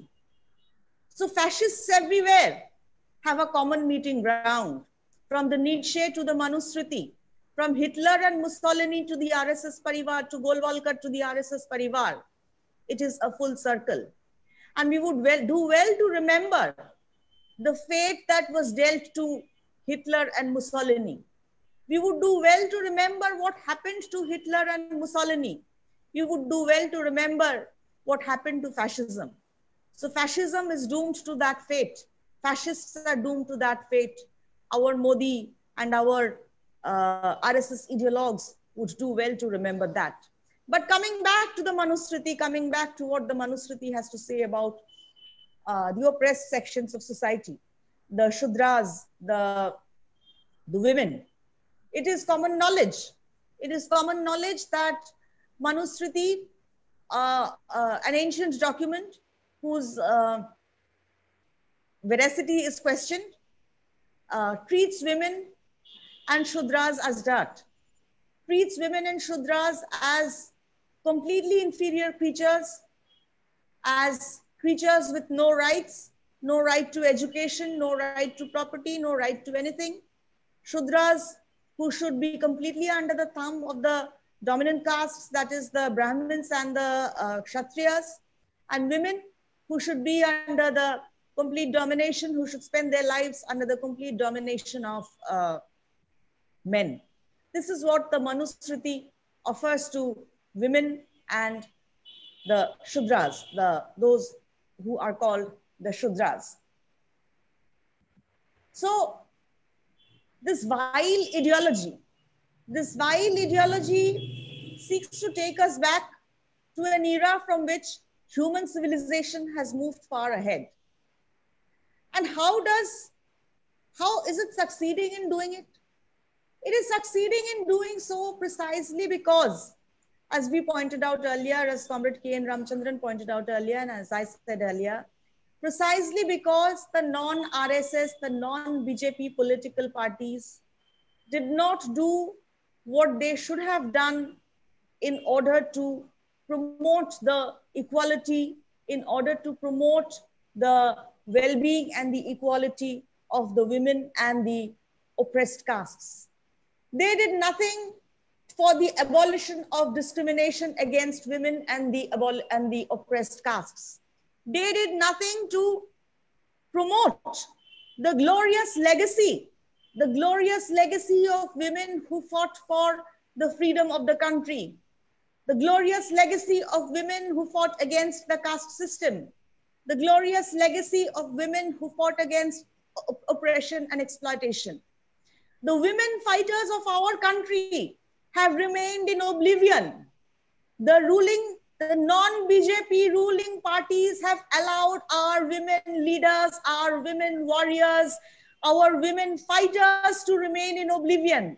They have done nothing to promote the glory, the bravery of these women as they have done nothing to promote the glory and bravery, the fight of the oppressed castes. And that is why today, that is why today the RSS is finding it so easy, so simple to talk of bringing, bringing back the Manusmriti or bringing back the ideologies that reduce women and the oppressed castes to mere uh, enslaved creatures. So this is another fight we have to undertake in the course of our ideological campaign against uh, the against uh, the Manu, Manuvadi uh, ideology. This is another important fight which we have to undertake to bring to the fore our women warriors, to bring to the fore our women reformers, our women revolutionaries, who have served the country with such devoted zeal and who lie today in utter oblivion. We have to bring to the fore the, the, the, the, the, the warriors of the oppressed castes who fought against the British, who fought against exploitation, who fought against the class, the class system, who fought against class exploitation, and yet whose memory today has been pushed into oblivion we have to rewrite our history. We have to rewrite our history by promoting the, uh, the contribution, the glorious contribution of the most oppressed sections of society in that history. And it is not a very difficult task because there were so many le women leaders. There were so many fighters from the oppressed castes who fought the, free the freedom struggle, who fought in the struggle for a classless society. But our patriarchal Manuvadi practice have somehow have somehow contributed in uh, relegating their contributions to the background. We need to bring them to the foreground once again in our offensive against the uh, fascist ideology of the RSS Parivar. And the final point which I would like to, uh, no, I'd like to put forward two more points now. One, the one is that we should do well to remember that soft Hindutva, soft Hindutva can never fight the hardcore Hindutva, the hardcore uh, fascist philosophy of the RSS. So if we think that we shall keep quiet today in the face of what the RSS is doing in and try to appease the larger Hindu community, then we shall never be able to fight against the ideology, the fascist ideology of the RSS, which shall, which is against the interest of the larger Hindu community as well. For instance, uh, to give an example, I uh, uh, I am currently based in uh, Kolkata in West Bengal. In uh, West Bengal, the Durga Puja is a very uh, popular festival. It is a very popular festival for Hindus and uh, it is a very popular festival for basically all Hindu Bengalis. So, and um, we see that people of other religions also participate in this festival with great zeal because it is uh, a four day festival and it is a joyful it's a joyful celebratory thing in bengal for many many years now. So this year in the midst of this pandemic which is killing thousands of people every day more than 90000 people have died according to government records. And according to non government records the number of deaths is much more the medical journal, the internationally reputed medical uh, scientific journal, the Lancet, has recently chastened the, the Indian government for downplaying the uh, downplaying the pandemic, for downplaying the dangers of the pandemic. So we know that is the state today that our government has totally failed to deal with the pandemic, and uh, it is raging. The numbers are rising every day. It is raging so many people are dying every day. So, in the midst of this pandemic, it would not have been unseemly if the Durga Puja celebrations in West Bengal would have been called off. Because Durga Puja invariably means thousands of people out in the streets. Durga Puja invariably means thousands of people in a festive mood out in the streets. It means absolute lack of uh, physical or social distancing. It means throwing caution to the winds it is it is something which happens every year but this year in the midst of this pandemic the government could have taken a decision the government could have taken a decision to call off public celebrations of this festival but the Trinamool led government in West Bengal did not dare to do so. Why did not it dare to do so? It did not dare to do so because immediately the BJP would have attacked it and said that you are against Hindus. And also, because the opposition in West Bengal, the opposition like the CPM and the Congress, which pretend that they are anti BJP, which try to be anti BJP, which try to put on an anti BJP posture, neither of these parties put forward the demand that this year let Durga Puja be put on hold. This year is a year of great tragedy. It is a year of countless deaths. It is a year of a raging pandemic. So for one year, let this festival be put on hold. It will show no disrespect to religious minded Hindus. Religious minded Hindus do not want to see people die. Religious minded Hindus generally are not murderous in nature. They do not want to see people die. The dangers of this pandemic could have been explained to the people and the government could have taken this step, but no. The government decided, the, the Trinamool government, as well as the CPM and the Congress led opposition, they chose the soft Hindutva line of dealing with the hard Hindutva of the BJP. They chose to go ahead with the Durga Puja as usual. And I dread to think the, the, the calamity, the toll it is going to take on human, on human lives. So this, I just said this to, uh, I uh, just said this to uh, give an example. Uh, Eid was not celebrated in Bengal. The the the Muslim um, religious leaders they called upon the people. They called upon the Muslims not to congregate in the mosques during Eid, but to offer namaz at home. But this was accepted by the Muslim community at large. But when it comes to a festival like the Durga Puja, neither the anti-BJP, the so-called anti-BJP Trinamool government, nor the so-called anti-BJP CPM Congress opposition have the guts to say that let us call off Durga Puja, let us call off Navratri this year.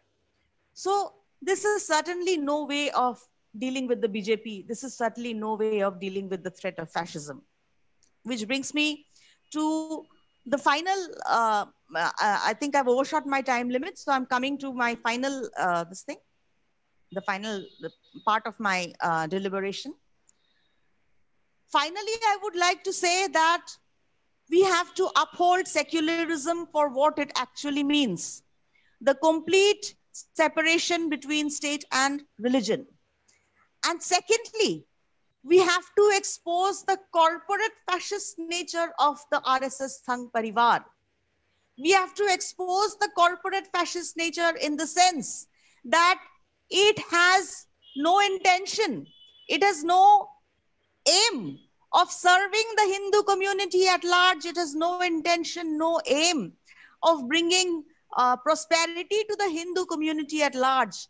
The only ones the RSS Sangh Parivar is dedicated to, the only ones the RSS Sangh Parivar wants to serve are the corporates, are the Ambanis and the Adanis and the Nirav Modis and the Tatas and the Birlas. So this, it is the corporates they want to serve. It is international capital they want to serve. It is uh, the, the, the propertied class they want to serve. So let this be a, a very important part of our campaign that the RSS brand of Hindutva is not for all Hindus. Leave alone Hindu women, leave alone Hindus of the oppressed castes. The RSS brand of Hindutva is for the corporates alone. And with that, once again, I pay my tribute to Bhagat Singh, who uh, was a great leader, not only of the freedom struggle, but who made popular the slogan of Inquilab Zindabad, which is a call for revolution. And revolution alone can save the day. Socialism alone can save the day. And with that, red salute to all my audience. Thank you. शुक्रिया comrade Sharmishtha comrade Sharmishtha ने जो कहा उसमें उन्होंने मूल रूप से ये ज़ोर दिया कि आज शहीद आज़म भगत सिंह का जन्म दिवस हम मना रहे हैं लेकिन विडंबना देखिए कि हमारे प्रधानमंत्री नरेंद्र मोदी ये मन की बात में भगत सिंह की विरासत को ऊँचा उठाने की बात कहते हैं। जिनका शहीद भगत सिंह की विरासत से कहीं दूर दूर तक का कोई संबंध इनका है नहीं। और यही सरकार जो लोग इनकलाब जिंदाबाद का नारा लगाकर जो सरकार के खिलाफ आवाज़ उठाते हैं उन सबको ये जे, जेलों में डाल रहे हैं जेलों को भर रहे हैं। और ये जो सरकार है ये जो प्रधानमंत्री है ये इनके मन में इनकी मन की बात में जो सड़कों पे हमारे हज़ारों मजदूर मर गए, अपना दम तोड़ दिए, उनके बारे में इनको कोई चिंता नहीं है। इनको आम जनता, मजदूरों, किसानों के जीवन से कोई सरोकार नहीं, क्योंकि इनकी नीतियाँ इनके जीवन को दुभर बना दी है। ये सारे, इनकी सारी नीतियाँ देश को बेच रही हैं, देश के कॉरपोरेट और वित्तीय, अंतर्राष्ट्रीय पूंजी को मदद कर रही है। तो ये शहीद भगत सिंह की बात, ये शहीद भगत सिंह को हत्याने का प्रयास करते हैं। जबकि शहीद भगत सिंह ने इनकलाब जिंदाबाद, क्रांति दीर्घजीवी हो, ये जो नारा दिया था, इसे मौलाना भासानी ने इसको और आगे बढ़ाया था। और ये इनकलाब जिंदाबाद का नारा आज देश के युवाओं में, या आज़ादी के मतवालों में, ये जन जन का नारा बन चुका है। मैं आपको याद दिलाना चाहूँगी कि आज शहीद शंकर गुहन योगी की भी शहादत दिवस है।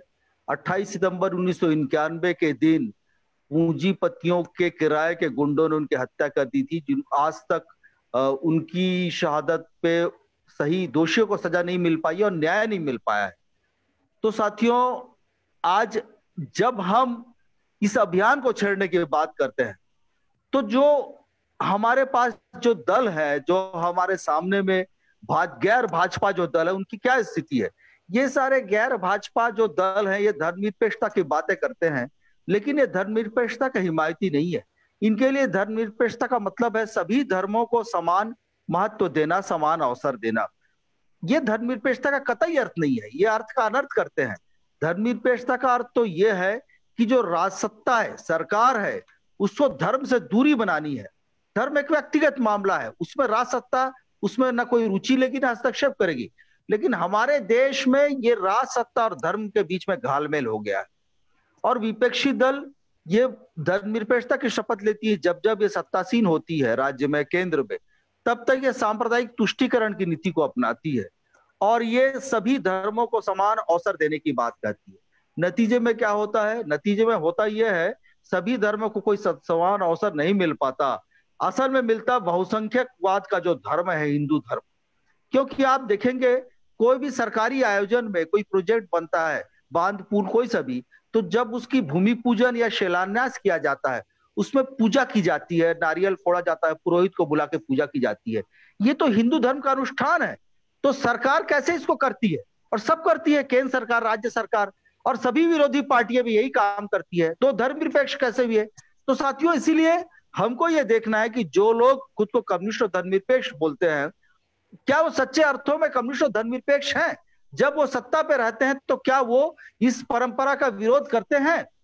आ, ऐसा होते हमने कभी देखा नहीं। आरएसएस की ओर देखें आरएसएस जिस हिंदू राष्ट्र की बात करती है हिंदुत्व की बात करती है आरएसएस कहती है कि सारे के सारे मुसलमान इस देश से चले जाएँगे, पाकिस्तान या दूसरे देश में तो देश जो है सोने की चिड़िया बन जाएगा। लेकिन हकीकत क्या है? आरएसएस क्या उसका हिंदुत्व तो सभी हिंदुओं के भलाई की बात कहता है? अगर ऐसा होता तो आरएसएस के मार्गदर्शन में चलने वाली जो भाजपा की सरकार की जो जन विरोधी नीतियाँ है, जिसमें से जो तीन जो कानून लाया है किसान कृषि का कॉरपोरेटीकरण करना, इसमें सबसे ज़्यादा प्रभावित होते हैं तो देश के 80 फ़ीसदी किसान। जो किसान कर्ज के बोझ से आत्महत्या कर रहे हैं, वो किसान कौन है? जो किसान प्रभावित हो रहे हैं, जो पंजाब, हरियाणा या फिर तमिलनाडु में जो आंदोलन में उतर रहे हैं सड़कों में, वो किसान कौन है? आप, क्या वो सबके सब मुस्लिम है? या अल्पसंख्यक है? आप देखेंगे कि उसमें अधिकतर लोग हिंदू है। इसका मतलब है कि आरएसएस को हिंदुओं के भलाई से हिंदू किसानों हिंदू मजदूरों हिंदू मेहनत कश हिंदू आम जनता के भलाई से कोई लेना देना नहीं है। तो किसकी भलाई से लेना देना है आरएसएस को? क्यों ये हिंदू राष्ट्र की बात करता है? बात यह है कि आरएसएस की जो असलियत है, हिंदुत्व की असलियत, वो असलियत है अंबानी अडानी के द्वारा संचालित एक हिंदू राष्ट्र की। वो नीरव मोदी का हिंदू राष्ट्र है। वो ट्रंप के मार्गदर्शन में जो दलाल है देश के, जो देश को बेच रहे हैं, उनका हिंदू राष्ट्र है। ये आम जनता का हिंदू राष्ट्र कतई नहीं है। इसको हमको बिल्कुल साफ़ तौर पर समझ लेना चाहिए। अब हम आते हैं मनुस्मृति पे। ये जो आरएसएस बोलती है कि देश के संविधान को खत्म करके मनुस्मृति को लाना है, सन सैतालीस से बोले जा रही है। ये अड़तालीस उनचास में मनुस्मृति को जलाई है सॉरी, संविधान को जलाई है। अब ये मनुस्मृति लागू करने की बात करते हैं। मनुस्मृति जो है करीब ईसा के 200 साल पहले से अलग अलग तरीके से मनुस्मृति को अलग अलग लोगों ने इसको निर्माण करने की प्रक्रिया की है। करीब एक कोई मनुस्मृति तो है नहीं, करीब पचास इसके अलग अलग हमको इसके भाष्य मिलते हैं। ऐसे हालत में कोई एक इसका कोई प्रामाणिक कोई मनुस्मृति इसकी है नहीं। और इसको किसने प्रचारित किया? जर्मन दार्शनिक निश्चय जो कि एक प्रतिक्रियाशील दार्शनिक था और हिटलर का गुरु था। हिटलर का दार्शनिक गुरु था वो। मतलब हिटलर उससे काफ़ी प्रेरणा लेता था, अपने आत्मकथा मीन के में लिखा भी है। तो ये निश्चय ने इसको इसके तारीफ़ की है।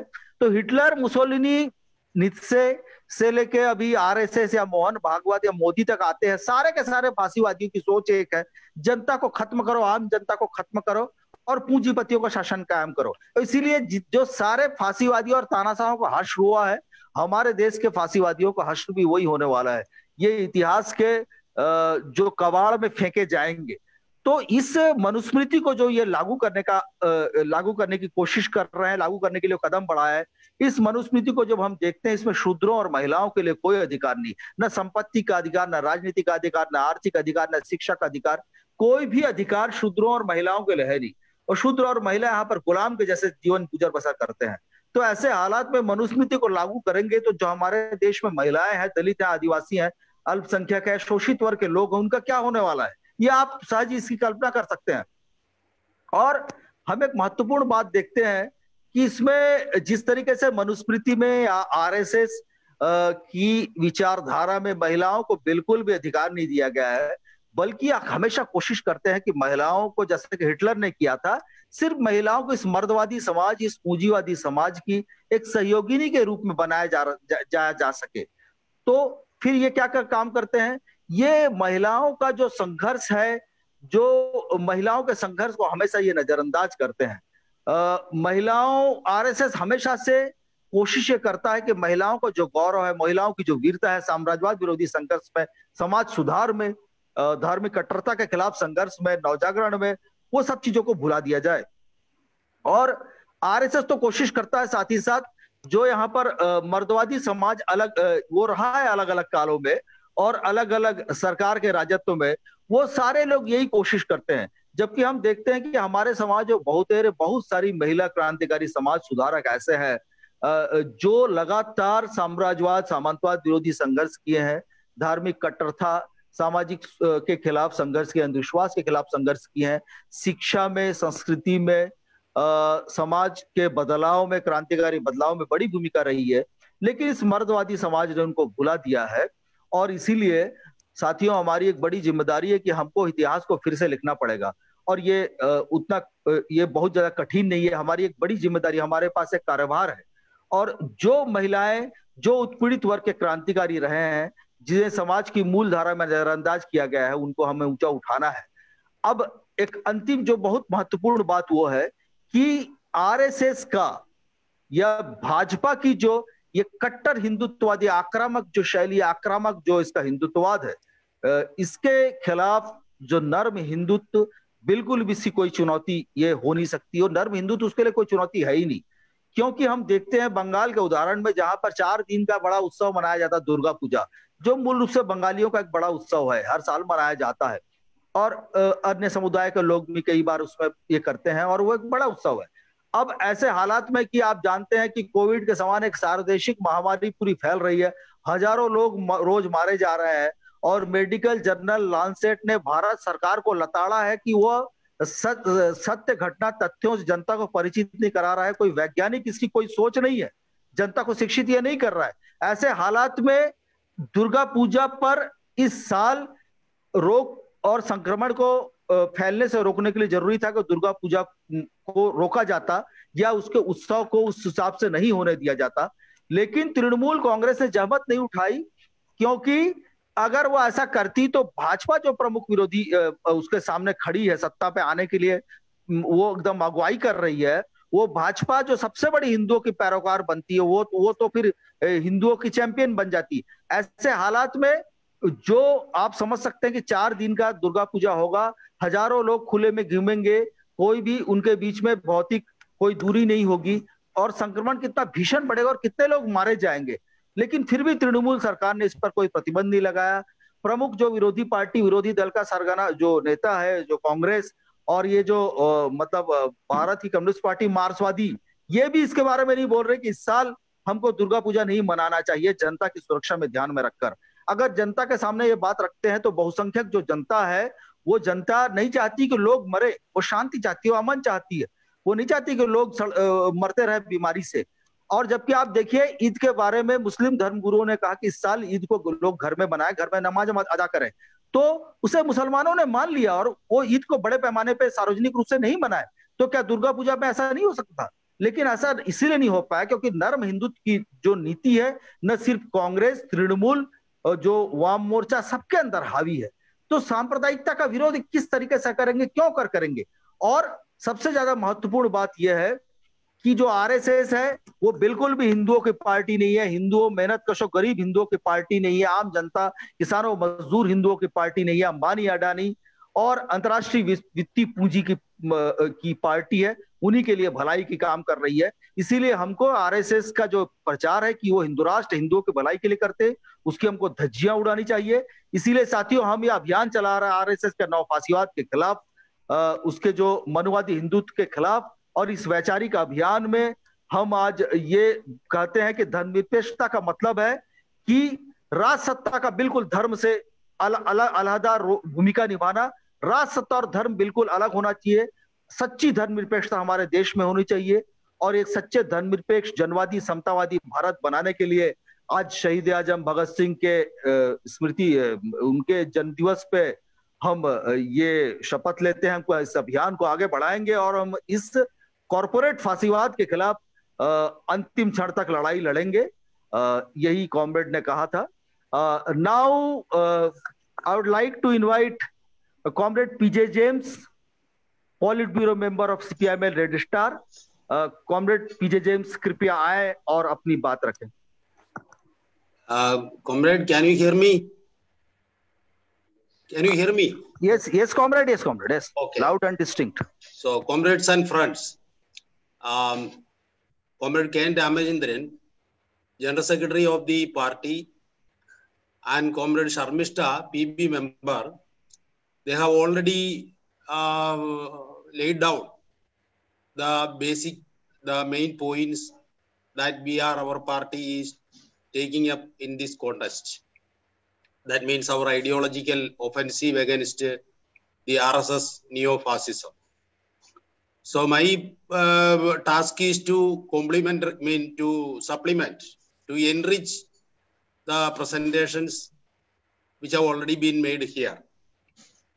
Now, as we know, uh, in 1925, when uh, Hedgewar and his mentor, Dr. Moonje, when they founded the RSS, actually the Hindu Mahasabha was already there.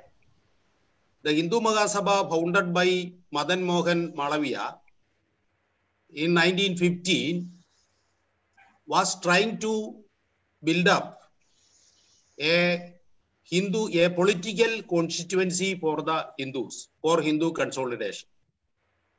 But the RSS came into being in the 20s when in Europe, mainly the fascist offensive, the Mussolini and Hitler fascism came forward. And in 1923, Savarkar had published his famous book, famous or infamous, that Hindutva, that was in 1923 in Nagapur. So it was uh, getting inspiration from Savarkar's Hindutva and the fascist developments in Europe that the RSS came into being in 1925. Now, when RSS was founded, as Comrade K.N. has already uh, mentioned, its ideological basis was cultural nationalism. That means we have to make a distinction between what is the nationalism that was prevailing then.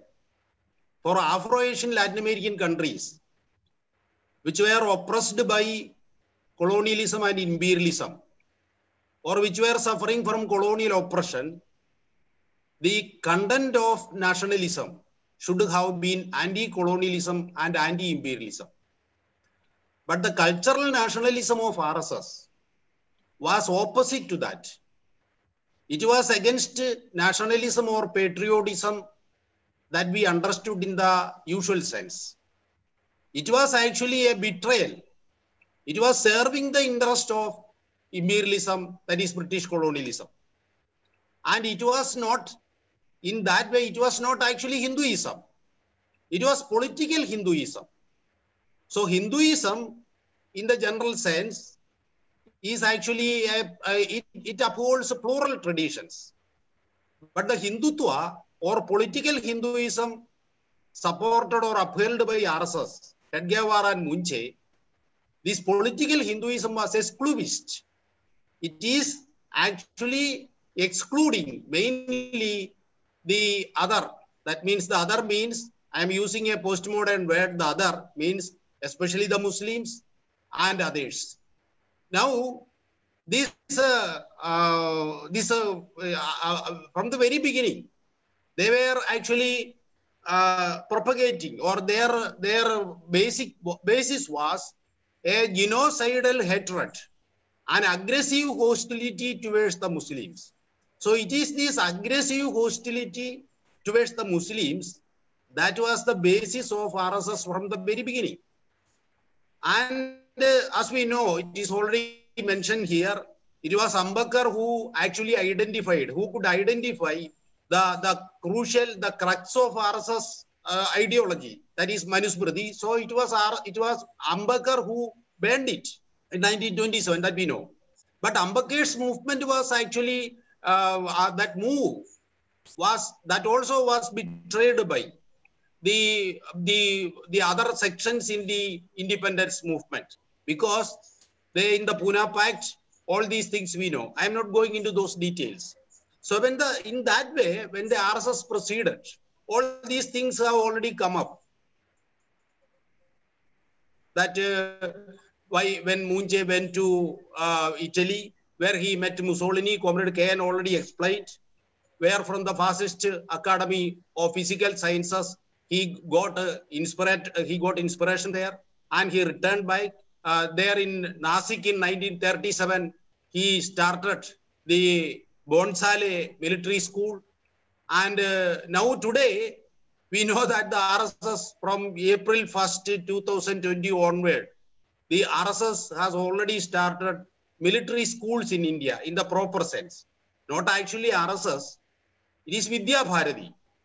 Vidya Bharati, the biggest private sector educational institution in India, having 25,000 institutions and uh, 4.5 million.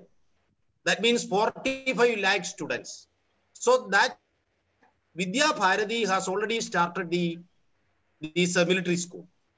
And the recruits or, or those who are coming out of these uh, uh, this uh, RSS military school, they will be absorbed into the Indian army as officers. So just as those who are coming out from Indian military school, those who are coming out of the RSS military school, they will be appointed as Indian army officers. This is uh, so that much understanding has already been there.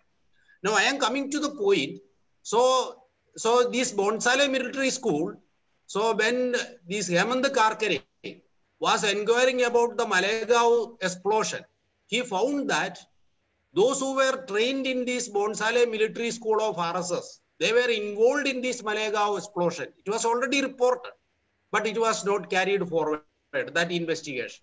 Now, when the RSS home, de- uh, sorry, the British Home Department at that time, when colonialism was flourish, I mean, this uh, the anti-imperialist struggle, dependence movement was developing. So many uh, uh, struggles were there, we know. And the Home Department uh, classified documents actually said that RSS is a friendly organization, no trouble from them. So the RSS never, we know, never supported the these uh, independent struggle, and their cultural nationalism is actually against the the independence movement. It is against nationalism in the way in which we understand it. So when we speak about the cultural nationalism of RSS, it should be understood in the reverse sense. It is not a nationalism, it is actually a betrayal of uh, the independence movement, the national sentiments of the people. So in 1940, in 1950, it is already mentioned here, when the constitution came into being, at that time, in 1949, November 30, and in 1950, January 11, the mouthpiece of our RSS, that is organizer, the or organizer published two articles, mainly two articles and several notes, in which RSS demanded, asked, wanted that the Manusmriti should be the constitution of India. So they never supported the Indian constitution uh, drafted by Dr. Ambedkar.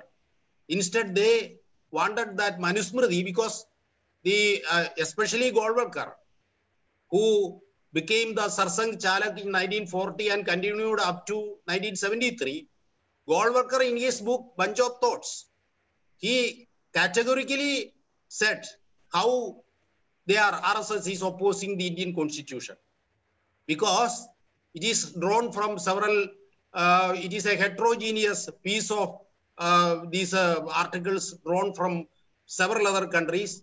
It is nothing there the regarding the the the values, the uh, principles in Manusmriti, and according to RSS, the subhumans that means women and Dalits, whom the these RSS considered subhumans, they have no political and civic rights. That is why RSS opposed the, the Indian constitution and suggested Manusmriti instead. And as we know, as a result of the assassination of Mahatma Gandhi, RSS was banned because according to Patel, Patel had a soft corner towards RSS. It is, it is known to all. But after the assassination of Mahatma Gandhi, Patel himself noted that they distributed sweets and they were enjoying. So, and because Godse was an RSS member up to 1946. So, because of these connections, RSS was banned. But after that, the RSS chief wrote to a letter to Patel, and Patel demanded that they should uphold, they should declare loyalty to the Indian constitution. And the the uh, Sarsanghchalak exactly given a undertaking also. But he violated it. In the, up to the 60s also, Golwalkar was in his bunch of thoughts, Golwalkar was continuously saying that uh, the Manusmriti should be, or he was against the Indian constitution. So that is approach of the RSS. So they were, they were not actually, they were betraying the independence struggle, and they were not upholding the Indian constitution, the Republican constitution of India. So even when we examine the post-war colonial, neo-colonial period, that after the uh, the uh, post-war period, when these uh, US-led uh, uh, uh, imperialism, led by USA, when the whole world was moved to a neo-colonial situation, the RSS loyalty, the RSS servility to imperialism continued unaffected, and, and this means unhindered, unfettered way. And in 1971, when you know, when Vietnam War was going on, we know that when during the Vietnam War, America was isolated, US imperialism was isolated. So at that time, the RSS chief wrote a letter to Lyndon Johnson that is published in uh, in certain books. So in that letter, which he gave this letter to Vajpayee, and Vajpayee took this letter to Lyndon Johnson. There the RSS chief said, today the world is engaged in a war between Dharma and Adharma. So in this war between Dharma and Adharma, the USA is on the side of Dharma and RSS is also with USA. So this is the approach. So even after the post-war period, the uh, the pro-imperialist, the loyalty to imperialism. So it is against nationalism. It is against patriotism. It is against the interest of the Indian people. So during the 70s, it was already uh, uh, uh, discussed here. So during the emergency period, so when uh, until so RSS, if you examine the whole history of RSS, there is a history up to the transfer of power. Then after 1947 to the 70s, it is another period. During this period, RSS was in obscurity. It was not there in the mainstream political discourse because of uh, it, it was it, it itself kept away from mainstream politics. So it was in the 70s when neoliberalism started. So from, from the very beginning, RSS was a far-right organization. Its economic philosophy was far-right, reactionary. It was upholding the interests of the landlord classes, the corporates, the big industrialists. So this far-right reactionary economic philosophy got acceptance when at a global level, neoliberalism came into being. So in the 70s onward, RSS, we know that during the emergency, because of its uh, cooperation with uh, Jayaprakash Narayanan and others, RSS got legitimacy and uh, it uh, uh, as its uh, political tool, its new political tool, it formed the BJP and the BJP started from 1980 onward. Now we know that there is a process, a series of processes are there. How the, the RSS succeeded in transforming the Indian political agenda in favor of its uh, Hindu Rashtra project. So in, in the uh, 90s, that means when neoliberalism started, when neoliberal globalization was unleashed, and in the 90s, when US imperialism put forward a post Cold War uh, idea, uh, that means a, a new slogan of Islamophobia and put Islam as the, the main danger, then this was a good opportunity for RSS because in the 20s itself, RSS said that, or they expo- they explained, they took the position that, or their uh, their as I have already said, their genocidal hatred, that is the word which can be used, that they had earlier. So in the 90s, this was an, another opportunity to to join with uh, this uh, global agenda of imperialism. Now you see, at a global level, say if RSS is now trying to have a uh, pan-Hindu consolidation at the all India level, at a global level, almost in 37 countries, the Hindu Swayam Sevak Sangh, HSS, is active.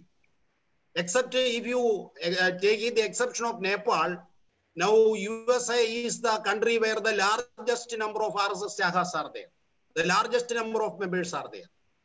And uh, uh, there are from the 80s onward, there were Vishwa Hindu Parishad, then Overseas Friends of BJP, so many Hindutva organizations, and uh, even in USA, the Republican Hindu coalition at par with the Jewish lobby. And even when Modi went to USA, the Howdy Modi campaign, how it was organized, how the RSS was behind it. So at a global level, RSS is now cooperating with the neo-fascist. Not only that, the European neo-fascists have already started rewriting history. That means in accordance with their neo-fascist uh, demands, requirements.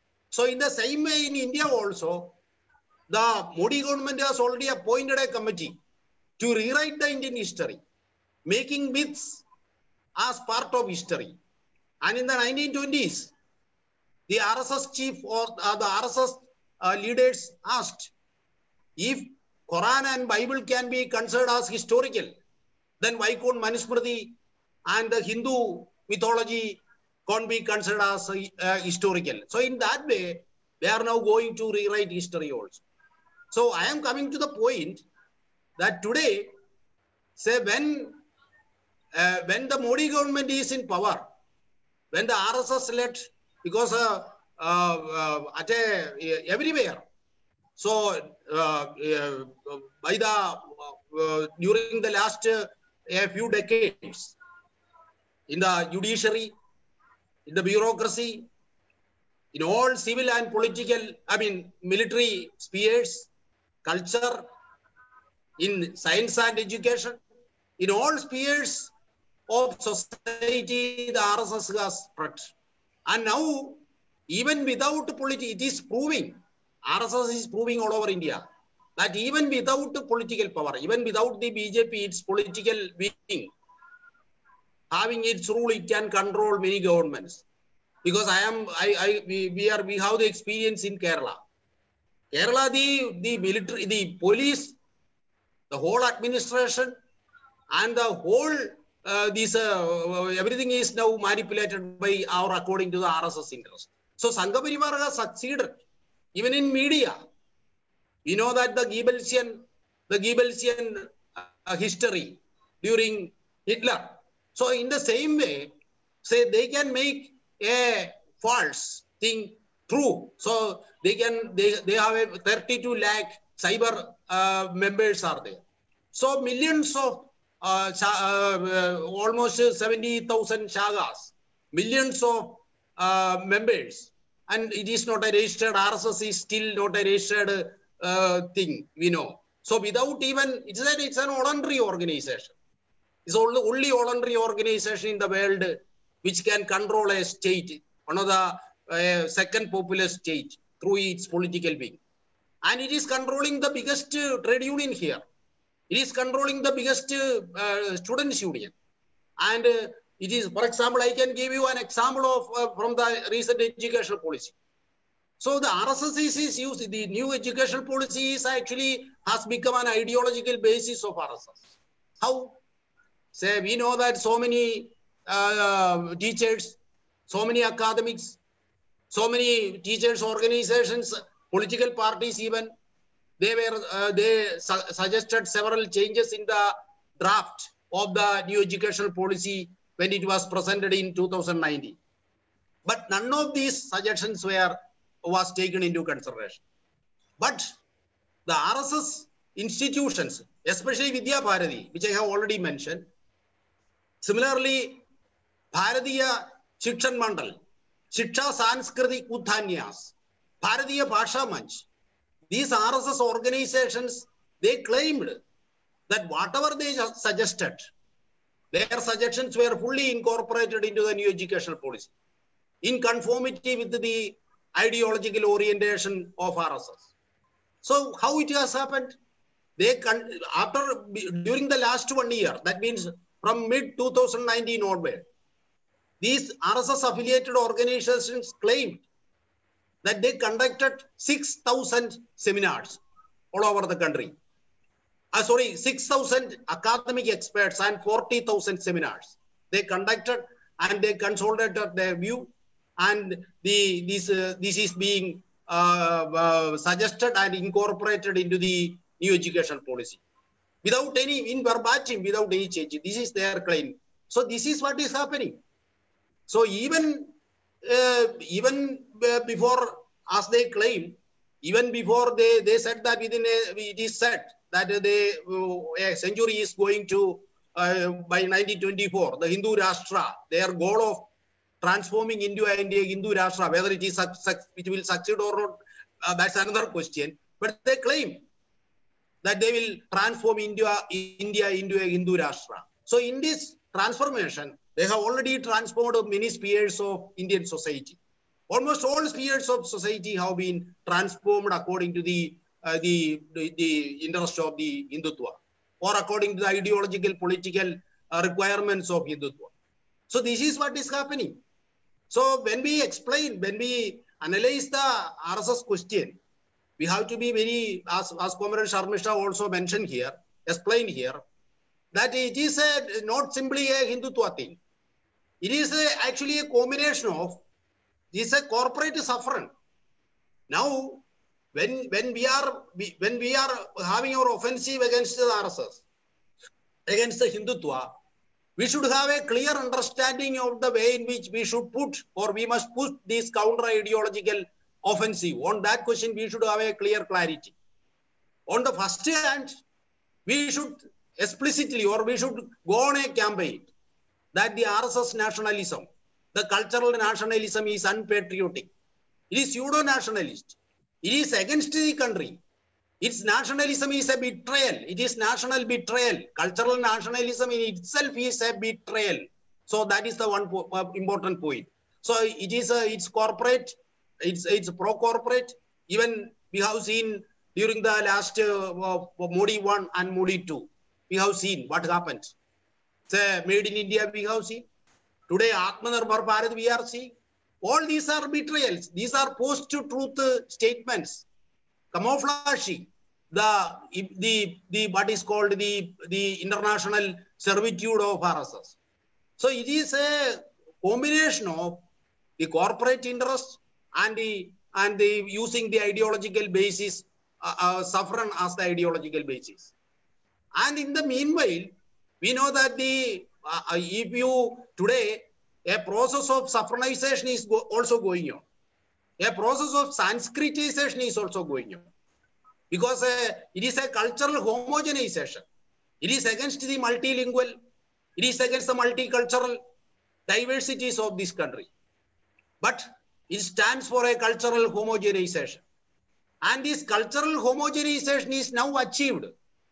But RSS is effectively using the identity politics. They are now using how these uh, these caste the caste politics can be deconstructed so that many caste uh, even intellectuals from the lower caste can be absorbed, can be co-opted, that they are effectively doing. And they have already made so many lower caste parties also as uh, their, their, what is their, their companions. So now on this question also we have to take a uh, correct ideological uh, political position. So we have to uh, uh, the when at the at the economic level, at the policy level, when we are exposing the RSS at the economic level, it is very clear that it is a far right, it is an ultra right, uh, its ideology is ultra right.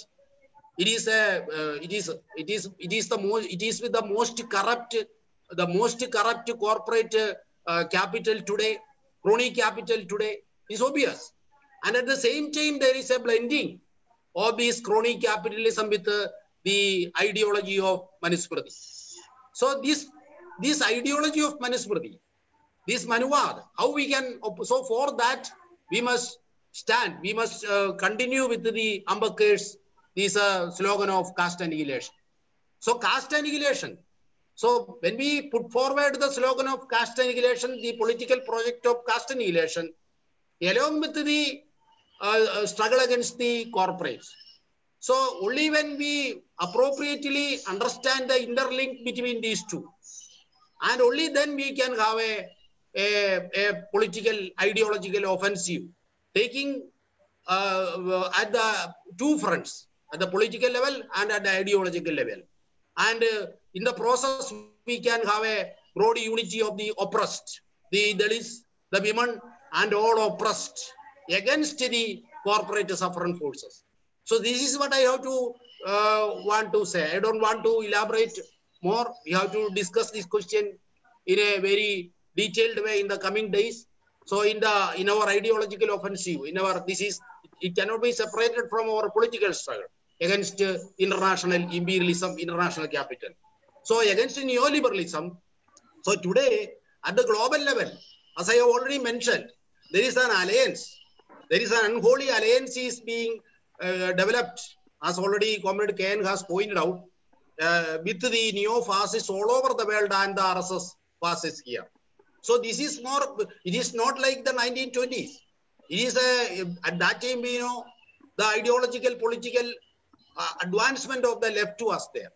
Internationally, the left was powerful. The socialist advancement was there nationalism was national liberation movements were advancing. Today we know that i am not i am not uh, pessimistic. We are not saying that history is over or ideology is over. But today one thing is clear that internationally the left is weak it is now taking advantage of the ideological political weakness setbacks of the international left that uh, uh, neo-fascists all over the world and rss in india. They are making this offensive. So at the global level we have to have a solidarity, unity of the working class and all oppressed. In India also, we have to appropriately carry forward the struggle by having the broadest unity of the workers, the peasants, the women, and Dalits, Adivasis, and all oppressed. So this should be our uh, counter ideological uh, proposition, uh, how political proposition against the RSS fascism the corporate saffron fascism in our country. Thank you, comrade.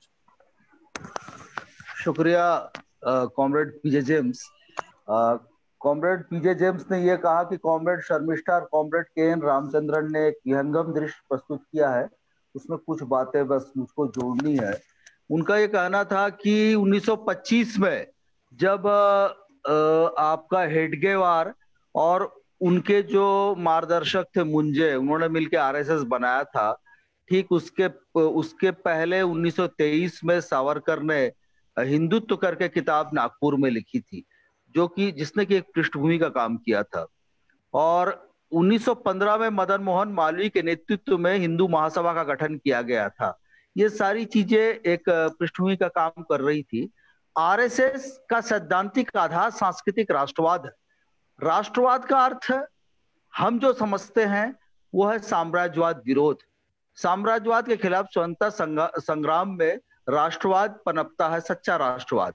लेकिन RSS का राष्ट्रवाद जो है, साम्राज्यवाद से, के साथ की दलाली करना है, देश से गद्दारी करना है। इसका अर्थ अलग इसका अर्थ दूसरा है। और इसका जो राष्ट्रवाद, असल में ये राजनीतिक हिंदू, हिंदुवाद है। और ये शुरू से ही मुसलमान और अन्य लोगों के लिए इसमें कोई स्थान नहीं है इसके राजनीतिक हिंदू, हिंदुवाद में, इसके हिंदू राष्ट्र में। तो और विशेष तो मुसलमानों के खिलाफ एक आक्रामक आक्रामक एक नफरत भरी हुई है। अंबेडकर ने आरएसएस के मनुस्मृति और आरएसएस के हिंदू राष्ट्र की जो सोच है, उस पर एक करारी चोट किया। मनुस्मृति का दहन करते हुए जाति का उन्मूलन का नारा उछाला। और हिंदू धर्म में जो जाति व्यवस्था वो हिंसक है ये उन्होंने कहा। और आ, मतलब जो हिंदुत्व की जो इसकी सोच है उसको उन्होंने खारिज किया। और लेकिन अंबेडकर के बाद अंबेडकर की सोच को उस समय अंबेडकर की गतिविधियों को अन्य ताकतों से उस प्रकार से मदद नहीं मिल पाई। आरएसएस दूसरी ओर हम देखते हैं कि आरएसएस का एक सहयोगी डॉक्टर मुंजे वो इटली से लौटने के बाद में राष्ट्रीय स्वयंसेवक संघ के नेतृत्व में नासिक में भोसले मिलिट्री स्कूल की स्थापना करते हैं। और ये जो आगे आगे हम देखते हैं कि जो कट्टरपंथी आतंक जो क्रियाकलाप हुए, इसमें भोसले मिलिट्री स्कूल का बड़ा योगदान है।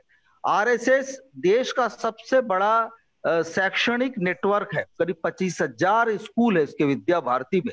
इसके कई सारे आनुषंगिक संगठन है। सिर्फ़ वो विश्व हिंदू परिषद या बजरंग दल ही नहीं है। ये राष्ट्र राष्ट्र प्रचारणी सभा से लेकर और आपका राष्ट्रीय स्वयं सेविका दल काफ़ी सारे हैं, कॉमरेड ने बताया।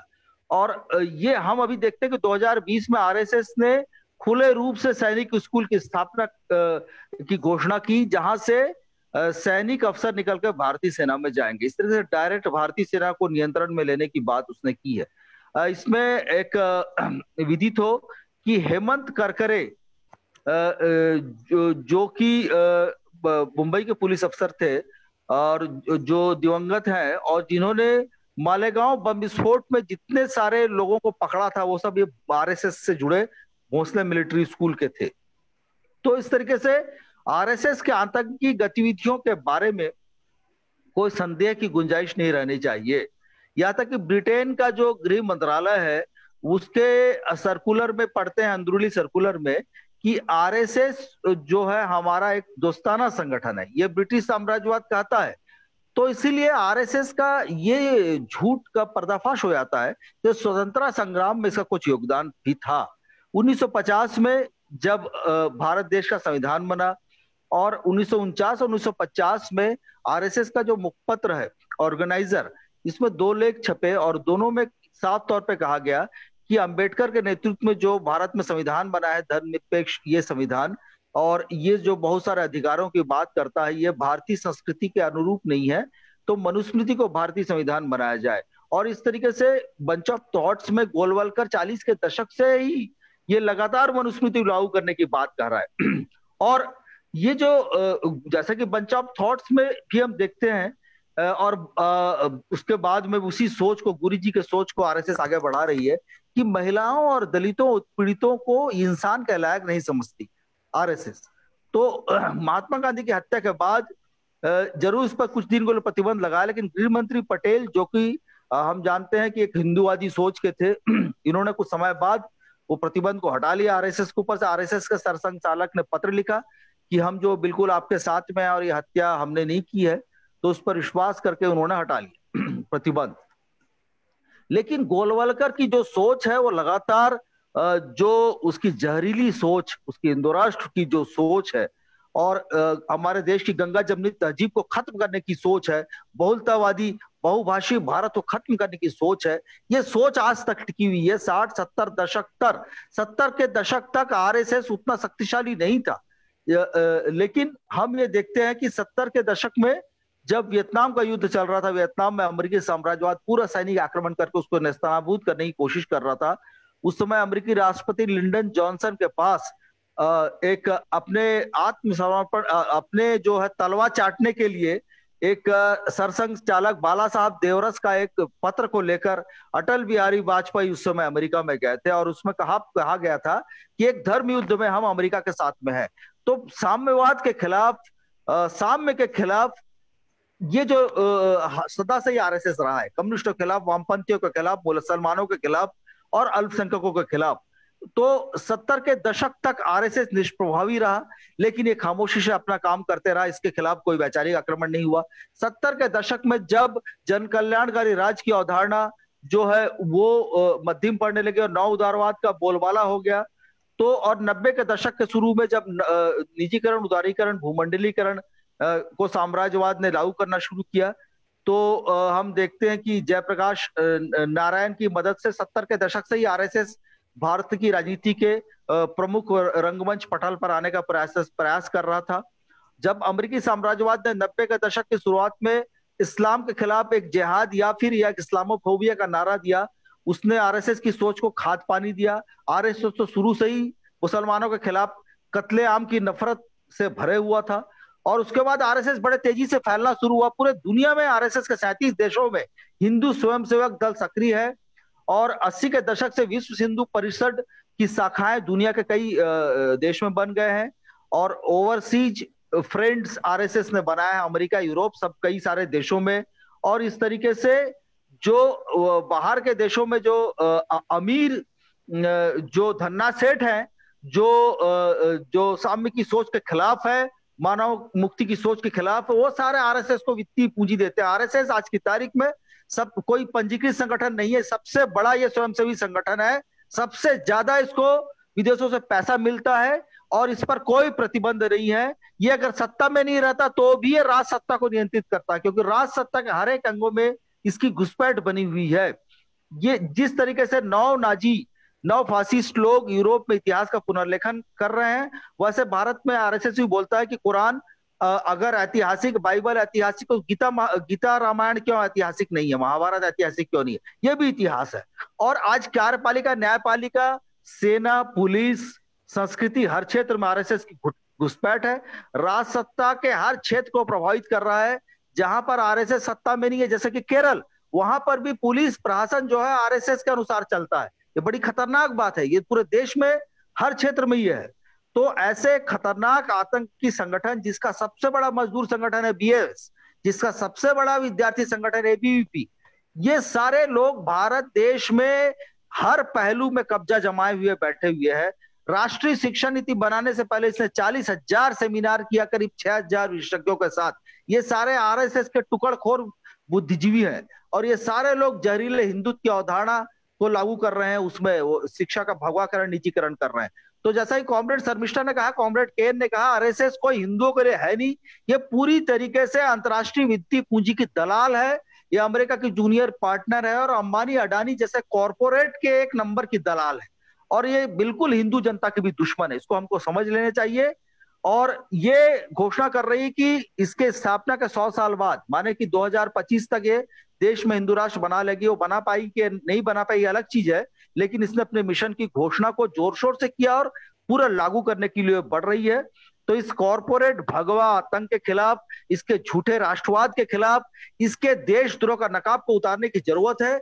इसीलिए इस जो आरएसएस के नौ फांसीवादी वैचारिक आधार, मनुवादी हिंदुत्व के खिलाफ जिस अभियान की शुरुआत आज से हमने की है, हम सारे तमाम प्रगतिशील जनवादी ताकतों से आह्वान करते हैं कि इसके इसके खिलाफ संघर्ष करें, इसको सही चुनौती पेश करें। और इसके सांस्कृतिक राष्ट्रवाद के खिलाफ सच्चे साम्राज्यवाद विरोधी जो चेतना है, हमारे देश की गंगा जमनी तहजीब है, हमारे देश की बहुपासी बहुमात्रिक, बहुलतावादी परंपरा को हम ज़िंदा करें, उसको हम लागू करें और बहुसांस्कृतिक परंपरा को आगे ले जाए। और इस तरीके से हम जनवाद और समाजवाद से होते हुए हम हमारे क्रांतिकारी आंदोलन को आगे ले जाए, यही कॉमरेड का कहना था। अब मैं ये अनुरोध करूँगा कॉमरेड अली का, कॉमरेड शर्मिष्ठा से कोई सवाल अगर आए हो तो वो सदन के सामने में रखें।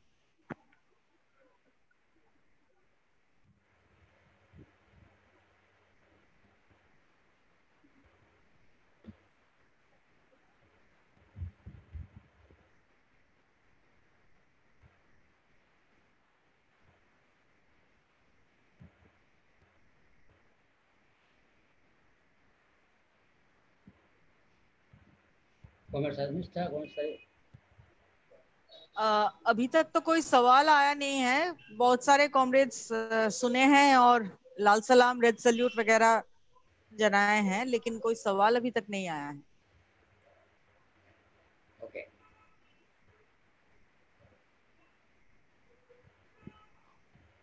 तो तो जी बोले। कॉमरेड, क्या हम इंतज़ार करें या फिर इसे समापन करें? हमारे आज के विमर्श के, आज के हम वेबिनार की। क्या कहते हैं comrade K N Ramachandran ji, comrade Sharmistha ji, comrade P J James ji?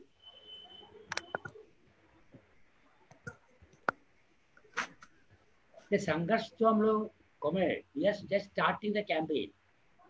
And the coming days more campaigns are going to be taken up. So naturally, more and more questions will come up. And uh, now, if uh, questions are not there, we need not wait much. The coordinator can conclude the uh, session. Uh. Uh-huh. uh, uh comrade Ali का भी कहना है कि कई साथियों ने इनकलाब जिंदाबाद और समर्थन किया, सवाल नहीं आया। तो जैसा कि comrade Ramachandran, comrade K N Ramachandran महासचिव सीपीएम रजिस्ट्रार कर रहे हैं कि हम इस चर्चा को आगे ले जाएँगे। We should continue this discussion in future और इन सवालों का जवाब ढूँढने का प्रयास भी करेंगे। तो thank you very much comrade K N Ramachandran, comrade Sharmistha Chaudhary, comrade P J James, आप सबका बहुत बहुत धन्यवाद। आप लोगों ने इस, ये जो हमारा अभियान है, आरएसएस के नौफासीवाद के खिलाफ, मनुवादी हिंदुत्व के खिलाफ जो वैचारिक एक अभियान की शुरुआत के बारे में आपने एक विहंगम दृश्य प्रस्तुत किया, विस्तृत अवधारणा हमारे दर्शकों के सामने रखी और शहीद आज़म भगत सिंह के जन्म दिवस से हम शुरू कर रहे हैं और 25 दिसंबर तक जो हम चलाएँगे हमारे पहले दौर के इस अभियान को इस अभियान की सफलता की कामना करते हुए और सारे दर्शक we thank to all our viewers all to all comrades our friends सभी साथियों को तहे दिल से शुक्रिया साधुवाद देते हुए और क्रांति का सलाम पेश करते हुए इनकलाब जिंदाबाद बोलते हुए मैं हमारे वक्तागणों की अनुमति से आज इस वेबिनार की समाप्ति की घोषणा करता हूँ। इनकलाब जिंदाबाद। Thank you. Thank you.